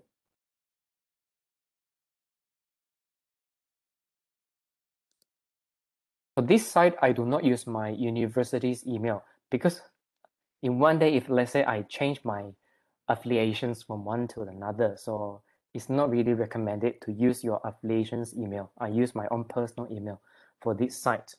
So for this site, it actually indicates several informations.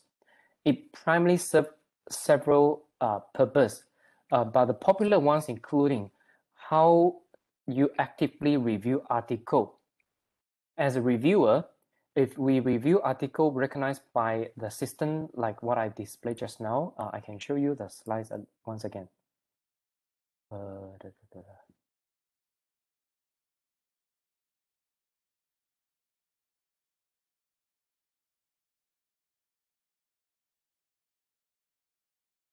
If you look at this slide, can you see Scholar One manuscript? Can because it's not full screen. Can you guys see Scholar One manuscript. Can you see this, right? You, you can see this. This is actually the system Publons recognize. And that's why they also connect myself with my ORCID. Because if you submit your article to the journal which use Scholar One system, Publons will also connect it. Reviewers, if you review one article which using Scholar One uh, system, it will count you in the system. Each year, they will also give awards to the reviewers in the global wide. Who review more articles will be the ranking of top reviewers. In different regions, they will give recognitions to the top reviewers. Unfortunately, I'm not the one. So in different countries, they may also have different rankings. Publons is the site. If you do not have any Publons account, even though you help to review articles, you don't have any record. So if you wish to have any record by the system, it's better for you to register Publons. And this site, the other function for you to understand is to connect with the Web of Science. You can see here, Community Web of Science. This is the website. Uh, we also wish to publish articles with the two index. One is a Scopus and the other one is Web of Science. If you wish to have a Web of Science ID, you need at least publish article and journal articles by the journal which are listed in the Web of Science. You're only able to get your Web of Science researcher ID. And these are the few IDs you are encouraged to obtain at the first. This will be very benefit for your careers. All right, so these are all about IDs. There are also other platforms I may not discuss too many. Otherwise, you are so busy with the register yourself at this moment. There are definitely a few other sites you are encouraged to explore, uh, including Mendeley and etc. But also some other items you need to very carefully check through on top of these kind of IDs, because usually the website may request you to key in these IDs if you have it. It's fine to leave it empty if you don't have it.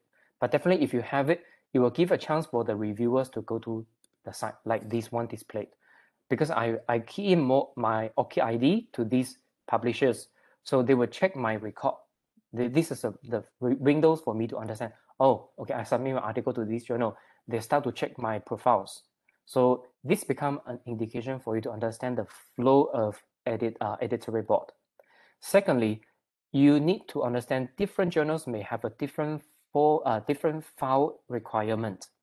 You need to understand the guidelines for author then you understand what are the documents you need to prepare in advance. Most of the journals, they require the manuscript without any author information. But at the same time, you still need to submit the manuscript with author details. Separately, you also need to produce author biograph. You also trying to find the keywords. This is actually another part, uh, thanks to the gentleman's question. Keywords not really usually Uh, become the submissions together with article. They may give you another chance to key in the keywords. Cover letter will be the, the, the particular specific letters for you to address the originalities or the author interest conflict, etc. Usually it's about the human interest. For example, if you are having several authors, do you have any conflicts among the authors team? Or if you're doing survey, how will you clarify the aesthetic practice? So aesthetic considerations, etc. Tables and figures sometimes are requested to, to be uploaded separately. So you need to understand all the files requirement according to journal standards.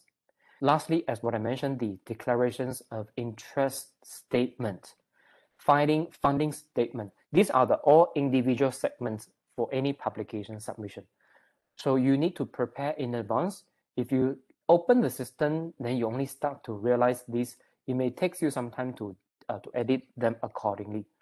My advice to all of you is to get understand clearly for every single journal what are the required documents in what kind of a format and how will they be uh, key into the system, including the keywords. You need to understand clearly. At least you go first for one round for one publisher, you will understand the procedures clearly. The same goes to the finding statement. Funding statement is also another individual segment. You need to key in carefully with the funding grant numbers or any ground names you have to key in. Some of the um, the grant are very universal. The system will generate the ground name um, for you uh, automatically. But if the ground is only at the internal ground, you have to key in the ground um, one by one. So it also accepted. The word count is also another part that you have to fill in. So which means you need to use the word files to count the words and the system will definitely rec recognize and rectify the word count. That's also a, a reference for editors to understand whether this article uh, fulfill our requirements for further review process. Let's say our article require our word counts limit is 8,000. However, you write uh, more than 12,000 words. So I may not advise for any review process the first thing I will do by looking at word count, I will definitely either desk rejection or tell you to short, shorten the article. These are the ways for people to look at these few informations from the end as editor and reviewer. And certainly, these are the so-called uh, tips, extra tips for you to understand that you can prepare for publications. All right, so I think I can um, discuss a little bit here. Um, as I understand, some of uh, the lecturers um, for your information, um, your professors has been invited to be the plenary speaker for the conference that I'm going to chair in the upcoming November, which will be held virtually. We initially wished to organize this conference physically in the campus. Unfortunately, thanks to the pandemic COVID-19 in Malaysia, the confirmed case in each day make a new records. So in the latest five or four days is a more than uh, 17,000 confirmed case. And we have a more than three digit people pass every day. Uh, with that, the immigration still not lose its ground to any foreign visitors. So we cannot open the conference to any visitors and our campus is also closed. Our campus closed since February of 2020. Now it still remain closed. We are still working from home and we have to organize the conference on time, certainly. With that, we have to organize this conference virtually with the theme, The Power of Change, Reshaping the Landscape of Media and Communication. As the chair of the conference, I have a four keynote speakers and two plenary speakers, and we have a different nationalities speakers to share the insight to definitely in, um, empower of our academic discussions on this particular theme by addressing our concerns on the changing landscape of media and communication domestically and internationally. If you're interested to participate in this conference, um, I can also give you an offer.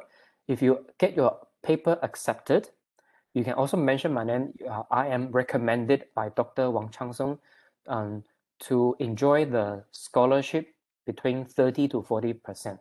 So now we also I have this kind of a, a so-called privilege given by the organizers. They, they tell me, Dr. Wang, if you have any good networks internally, you can share the scholarship, which means you uh, you can be entitled with a certain discount. And we do we do not call it a uh, discount, we call it a scholarship. So they, they will give you an individual scholarship if your accept paper is accepted and they also recognize this is Dr. Wang's recommendation. So you will be given uh, the range between 30 to, to 40% scholarship. And the, the topics of this conference varies from a lot of areas underneath media and communication studies. And you can go to the website, the media, the mediascience.com, and this is the website you can get for more information. And certainly this website um, is uh, well supported by seven um, journals. And these seven journals are all Scopus and ISI index journals. And uh, the competition is very overwhelming, certainly, because each journal can only accommodate very small number of, publication. So with that, we have to understand the publication process. Your article need to be accepted for the abstract and the full payment must be done and you present the paper at the conference. The due date for the full paper submission will be informed accordingly. So we will inform the date for full paper submission.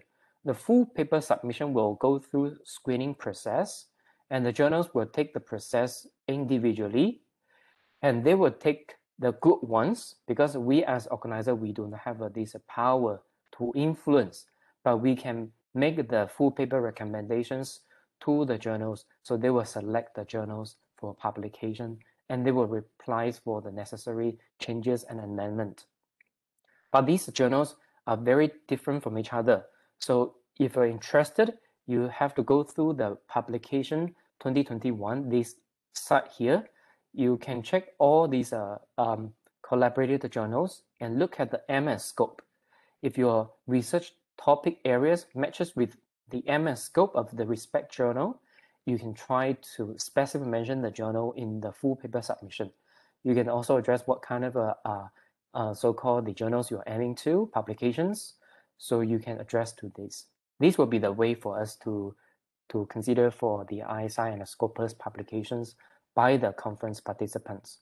And lastly, um, before I end it, for those people who wish to keep communicating with me, uh, you are more than welcome to follow my Instagram and also Facebook. If you are interested, you can search my uh, English name Wang at Instagram or my Chinese name Changsong Wang at Facebook. So you can keep connecting with us. Academics have a, this kind of a very healthy and constructive environment in which we are enjoying exchange ideas by using social media platforms. Um, like this event, I published my post by these two platforms. I think these are some of the good ways for us to keep to be keep connected. And in this kind of uh, challenging circumstance, we are still trying to make ourselves become more fruitful and productive scholar. With that, uh, I thank you very much for um, giving my time to sharing my observations and experiences for publication writing. And certainly I will open my ground for Q&A and also interactions with every one of you.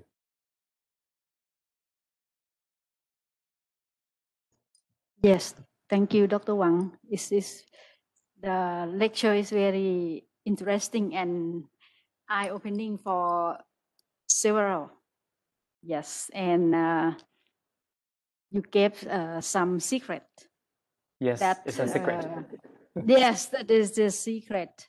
Uh, like uh, why do we have to register for ORCID ID for for Scopus? Of course, you need to publish uh, in a Scopus uh, uh, journal first. So Correct. before getting the the Scopus ID, and it is very encouraging and it's very timely, not for the PhD student, also for the uh, faculties because uh, as in the university, as we are in the university, it's our mission to publish the papers, uh, to uh, what, to enlarge the the knowledge, and otherwise we cannot compete with others. And uh, several things that you mentioned, it remind me yeah like uh, why do we have to uh, to give information about funding statement, about word count. Yes, really, uh, we just overlook this kind of information. As an editor of the Scopus journal, I can say, I can tell you why uh, uh, why we are interested in funding statement. This is for the, the, the journal because our journal reputation is count on the funding. If you publish the paper that uh, has funding, it add to the score of our reputation. That uh, when we have to decide to publish the paper, if there are two paper, one has a funding statement, uh, uh, get funding, and the other did not. If we have to decide, we will pick up uh, the article that get the funding because Correct. Yeah. yeah, that that that is the uh, nobody knows if you are It's a secret. It's a secret. yeah, yes, because as a who are responsible for for the journal, once you are in the Scopus uh, status, you have to keep up. Otherwise, your status will be recalled. Correct. And once you are at Q4, you have to make your journal Q3, Q2, and Q1. So that is the job of the uh, journal team. Yes. So once uh, you guys all knows the secret and the word count, why do we have to be cautious with the word count? It means uh, it's money, the fee. Yes. It money? have Yeah. certain- Page fees. Page fee. You have certain uh, Yeah. uh, chart for page. And for additional, uh, they are serious. If you are, if your paper, the word beyond the uh, slot, they will charge you. Mhm. Like uh, our journal charges every 500 for $50. And the others that we are submitting charge at uh, every page 110 euros. So if you are lazy to to reduce the number of the pages, you have to You pay. have to pay. But the, the, the secret of the, the, the number of the page is uh, we believe that if you are a good scholar, you can express yourself in short sentence. So that's why many um, journal, several journal, I think most of the journal do limit the number of word count. Mhm. So that is very, yes, very eye-opening for the other that uh, I overlook when I, I share things with uh, my student or my colleagues. I, I did not tell this kind of thing really. Yeah. So it's a it's kind of a hidden agenda we usually practice as editors and uh, yeah. yes, that that is our practice, and then uh, I never share. but I I can share, but I I never think that this is important. Once I hear, oh, this is the, the really the secret. If we know the secret, we can go beyond and go uh, ahead of the others, because it's just not just your ability to write, but the secret of writing is very important. Yes. So open the floor to others. Thank you, Prue, for adding these valuable points. I didn't extend to that level because I think it's a more like a hidden agenda. We are unreal. But anyhow, from these are very um, linear way, I could share these other maybe the ways you can do for improve more chances get publication.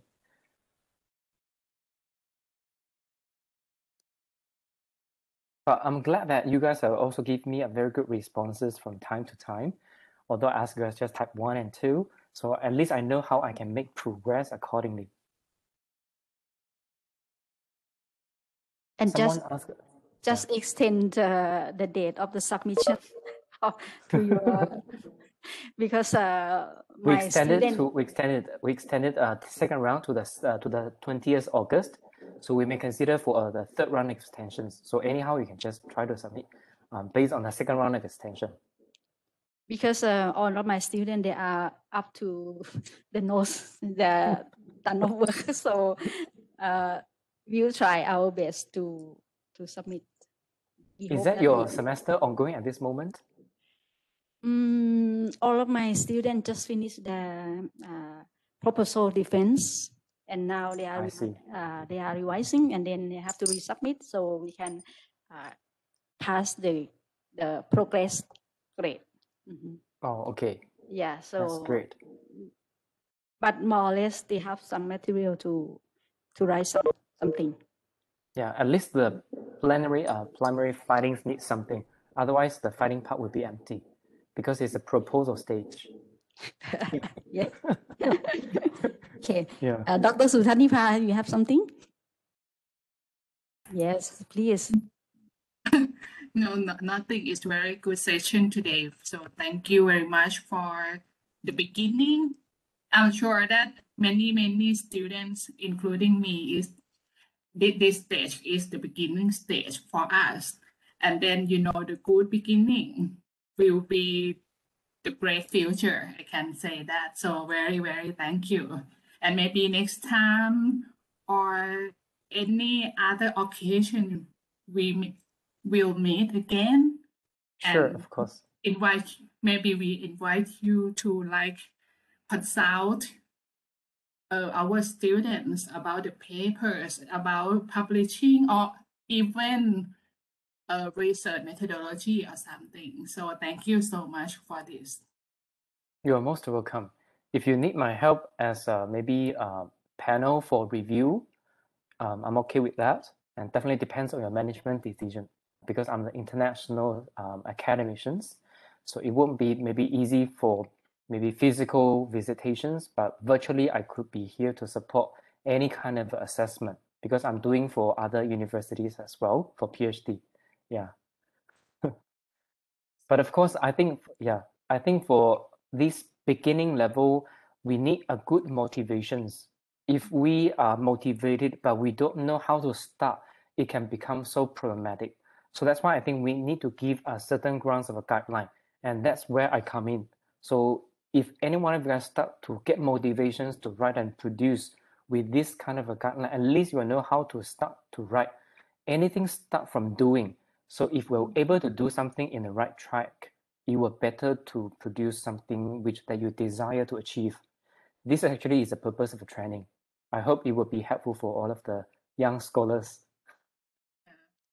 it's true so thank you yeah. anyone want to ask something and uh, let me ask i, I want Sure. to uh, i need your secret how can you write uh, at this young age how can you write so many papers Um, can can you be- just give the uh, just give uh, my student and others uh, a secret because they are young and then one day i hope that they Mhm. can be at uh, the same as yours maybe I can tell you how old I am. Uh, I'm all, I'm 40 years old.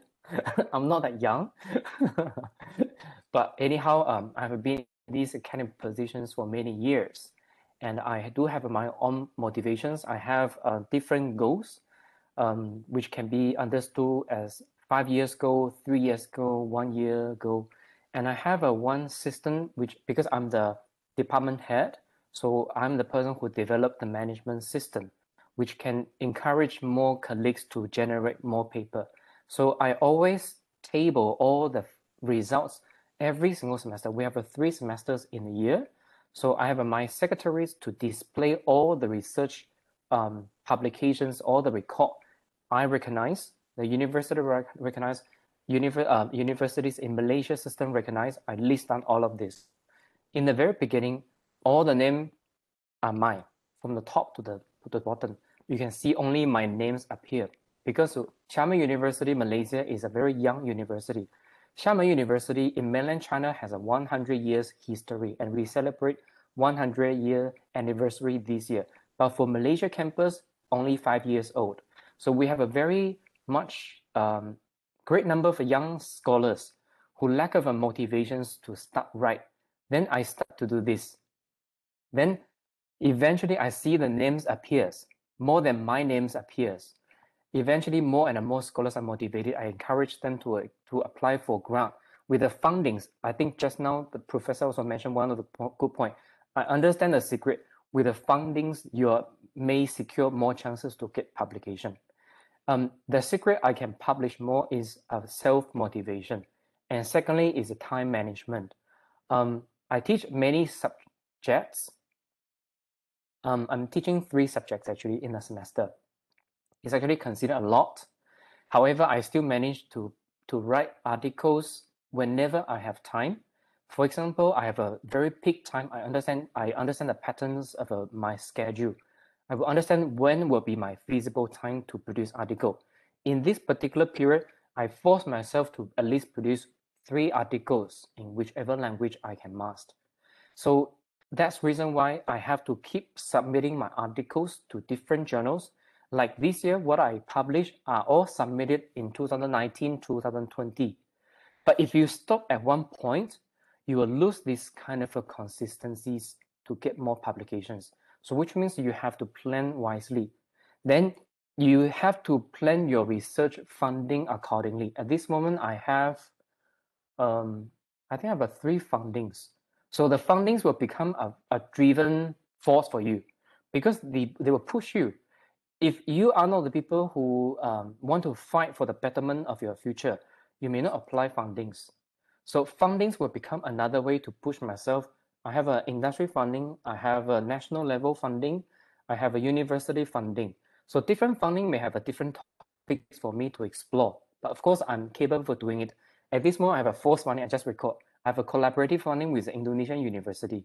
So they see the potential for generate more publications. That, so me to become a team. So I co-author for the, the other Indonesian uh, university. So we do this kind of, you can see four fundings, at least push me to produce four articles in a period. If you do not have a fundings, you will lose this kind of momentum. But for PhD students, my advice, um, I just let you know, during my PhD studies, I published 12 uh, journal article. So you have to make your target very clearly. For example, in the in the proposal stage, you at least have your basic ideas of a research proposal. And this could be generated into a conceptual paper.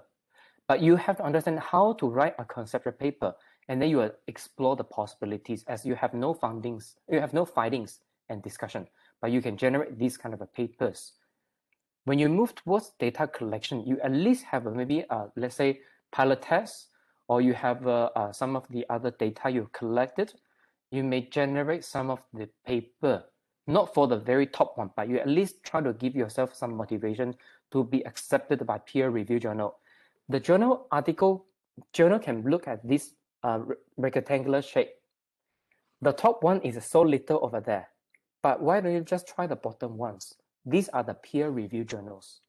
I understand we, we have a very ultimate goal is published at the top ones, which are the Scopus and RSI, but try to start with the bottom ones the peer review. Don't try any pay for publication journal. Don't do this.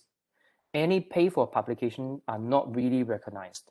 At least you have to search the journal information whether they are peer review. Peer review means this journal article submission will be sent over to two reviewers, blindly review them. This is assurance of quality. So if you have this kind of motivations by this peer review journal first, you are able to move to the next level. It's like play games step by steps.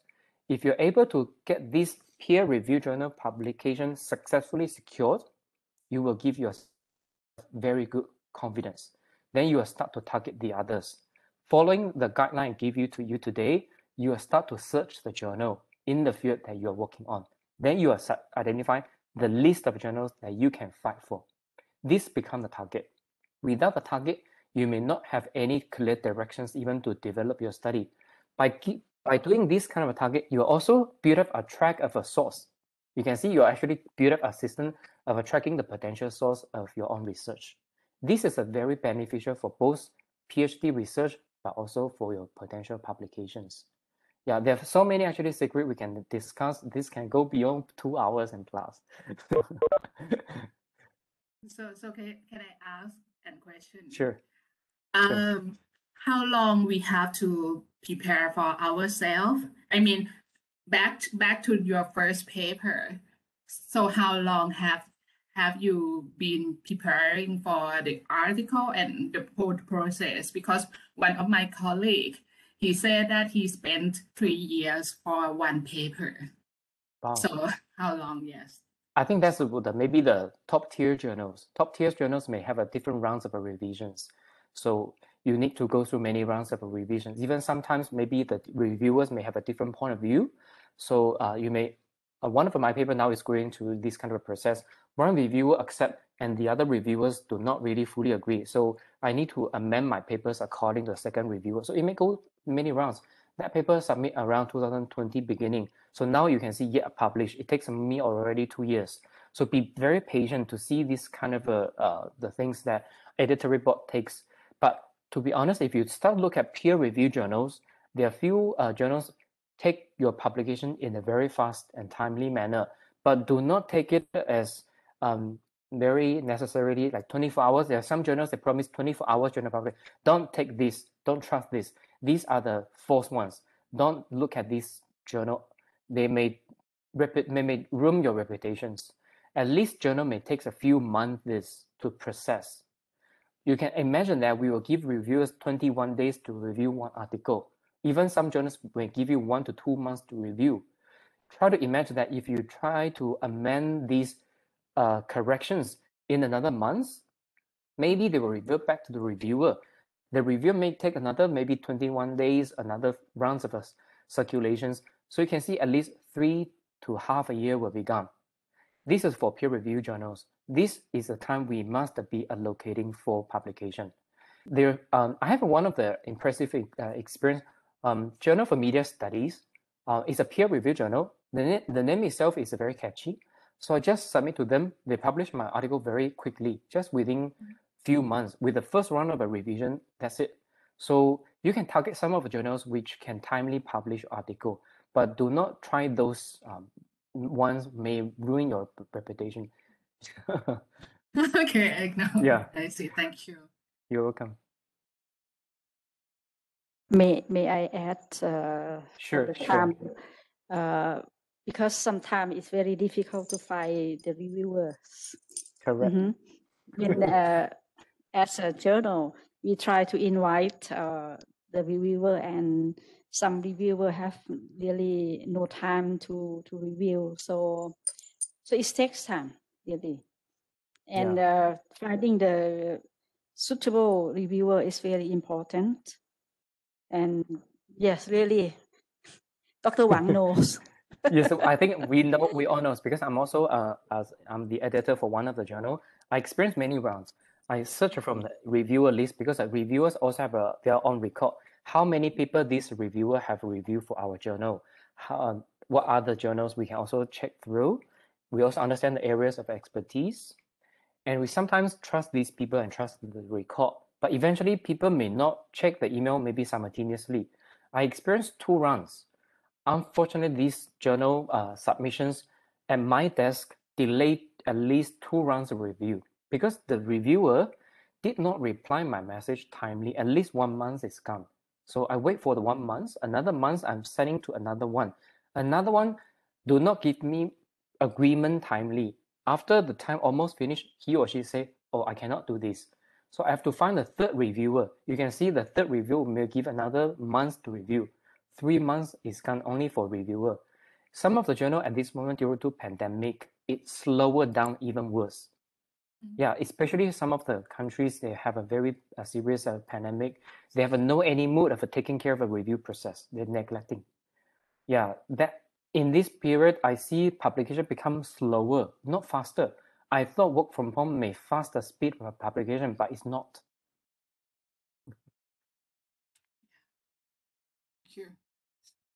So any you guys have any question? Why? I think to, I think today we are I think doctor we are more like a sharing our experience as editor and reviewer.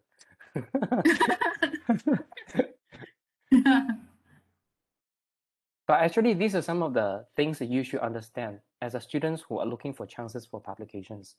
These are the things you won't even experience. But if we as editor tell you about, you should be prepared for all of this. Think about time management.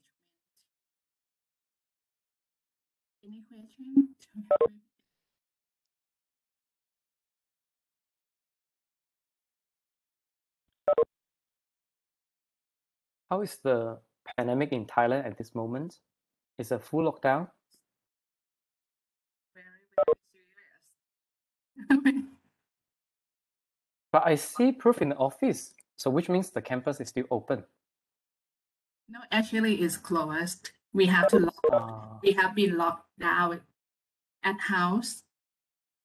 Yeah, how about in Malaysia? um, Malaysia still yet open to the industry sectors. All university schools are closed. All students are taking classes virtually. We as lecturers also have to manage our online learnings in the past two years, and that's where we are feeling so struggled. We lost the sense of interacting with the students. Although we understand the virtual platforms may give a chance of typing texts, but it's totally different. The responses, even eye contact from students, will become the big motivations for speakers and lecturers like us. But now it's something very different.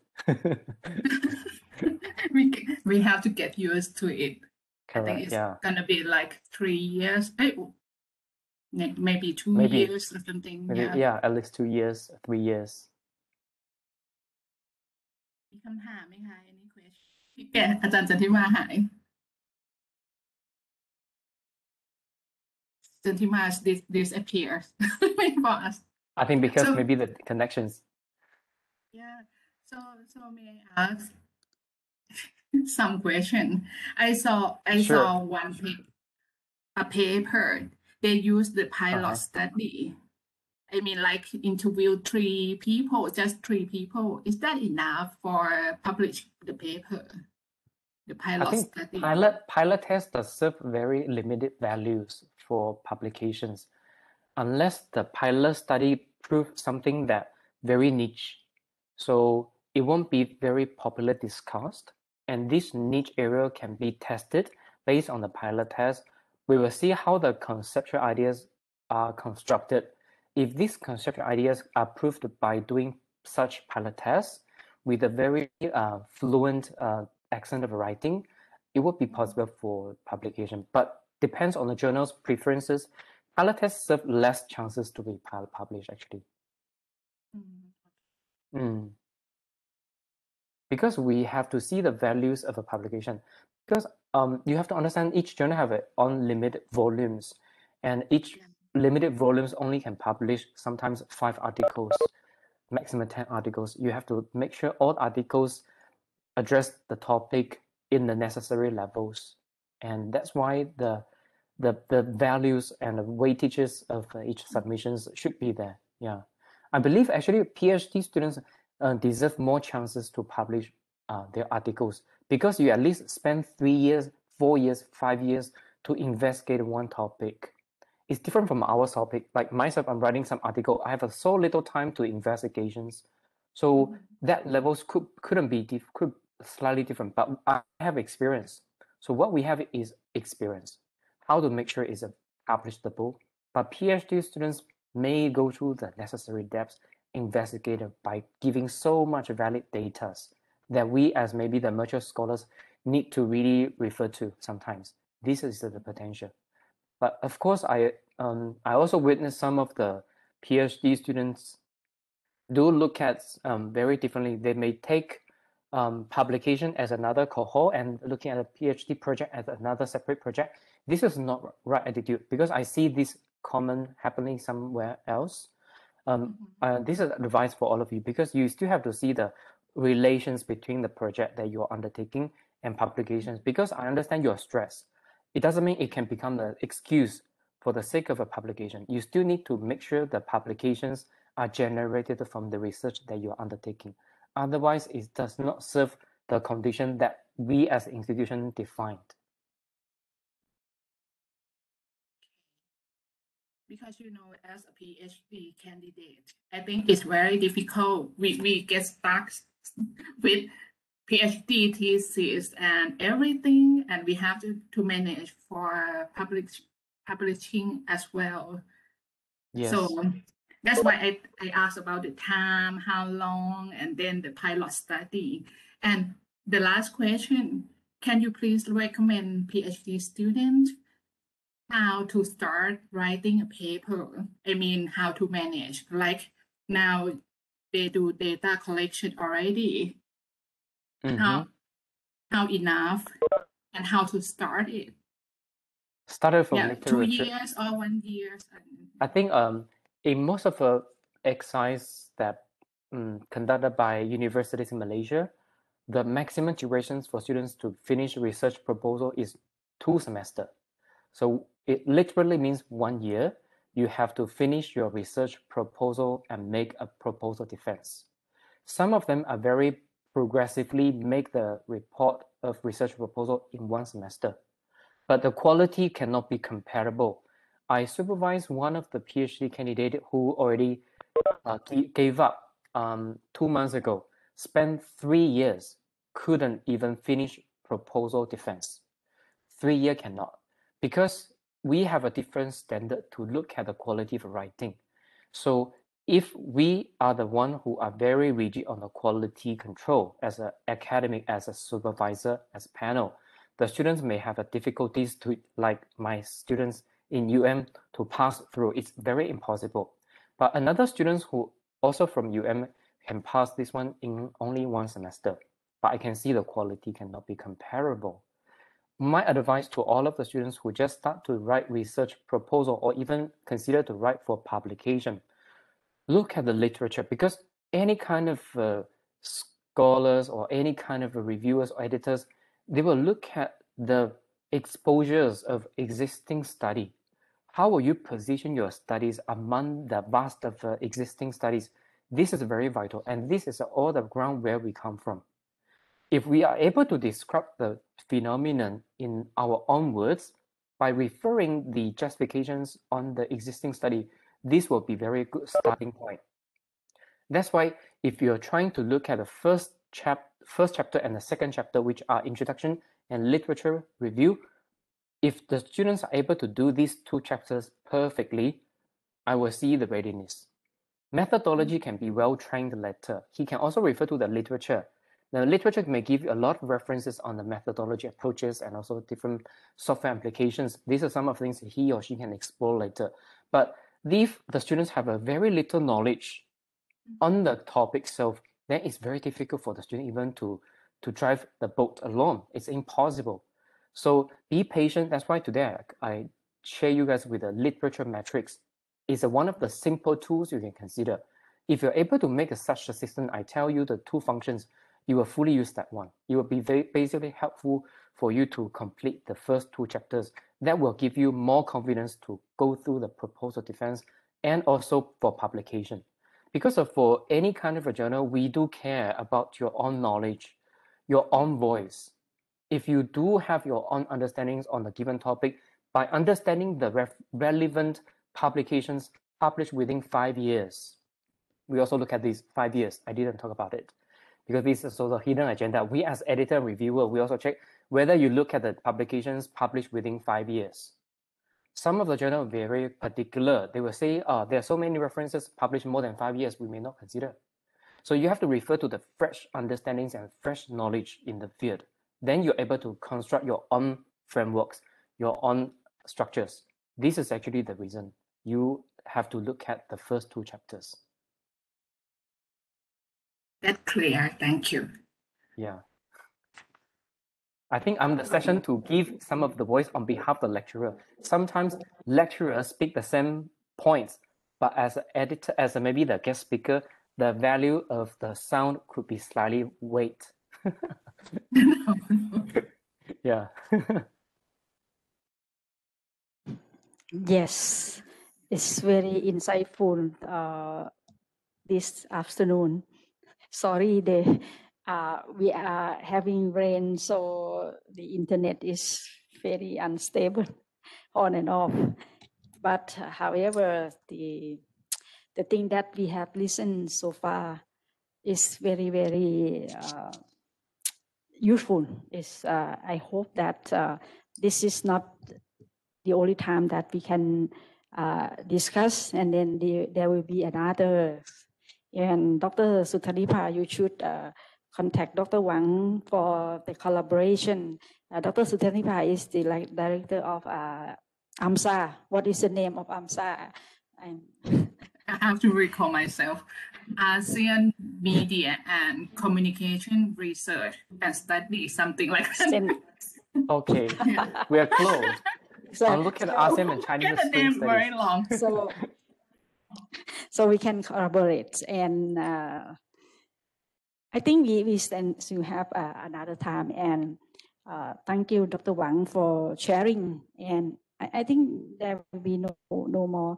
And if you have more i think we have to end this session uh, at the moment. And uh, you can uh, i asked dr wang if uh, some of my students or all of my students want to want your advice, uh, please Mm. accept uh, them as your uh, follower. So Sure, of course. That's why I Yes. recommend them to follow my Facebook and Instagram. yeah, and uh, if the COVID is gone, so we will see each other in person, like we Looking did forward. before. Yes, yeah, almost two two years. We Oh, met in Bali years. last time for ICA conference, Yeah, we met in Bali, and Mm. Yeah. uh, and also we, we met you in in and Shanghai. Hangzhou. Yes. Hangzhou. Hangzhou. Yes, Hangzhou Hangzhou. with the Yeah. question. Mm. Yeah. Yes. And we miss each other a lot. Yeah. So I think next year we, we can fly. Don't worry. I, Sure. I, I will go. if you are in uh, China, I will go to China. And if you are in Malaysia, we will go to Malaysia. so And also, I'm I- more glad to visit Thailand as well. Yes, you are welcome. Dr. Sutatipa, Mm. you should invite him to uh, Right. Person. Yes. Okay. Thank you. Uh, so I take this opportunity on behalf of the uh, School of Communication Arts and uh, students and colleagues. I thank Dr. Wang for uh, sharing with us your very, very precious knowledge and insightful and many secrets that uh, I myself overlook to share with my student. Okay. And thank you very much. So give a You're welcome. My pleasure to give uh, my limited Mhm. sharings to all of you guys. Hopefully, it's a help for your publication journey, and definitely it's a very good starting point. And you also have to appreciate your school for giving us such opportunity to uh, to all of us to participate these kind of uh, occasions. And congratulations to all of you to start your PhD. This is not really everybody's dream, and you're making your dream become true. And all the best to you all. Thank you. Please uh, turn on uh, your yeah. camera. Yeah. So we Before can... we leave the meeting, uh, shall we take a group photo session together? Sure. Okay. Uh, please. Yeah. Okay.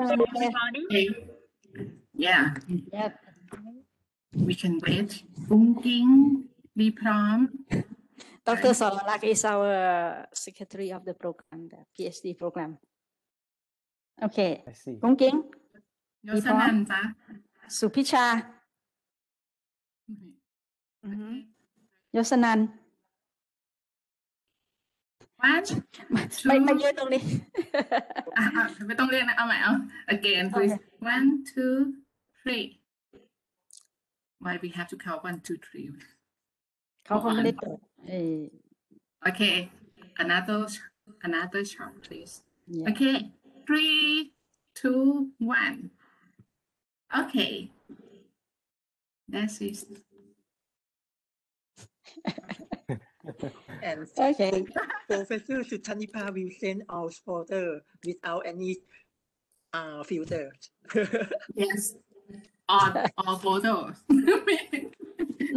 miss photogenic you remember Okay. Looking forward for the Looking next forward. session. Yeah. Yes. Mm-hmm. All right. Take care, everyone. Take So be safe. care. Thank you Take care. Bye bye. Thank you. See you November. See you November. Yes, virtually. you want to fly yeah. I want to fly now. Okay. Bye bye. Bye bye. bye take care of yourself Yep. Thank you.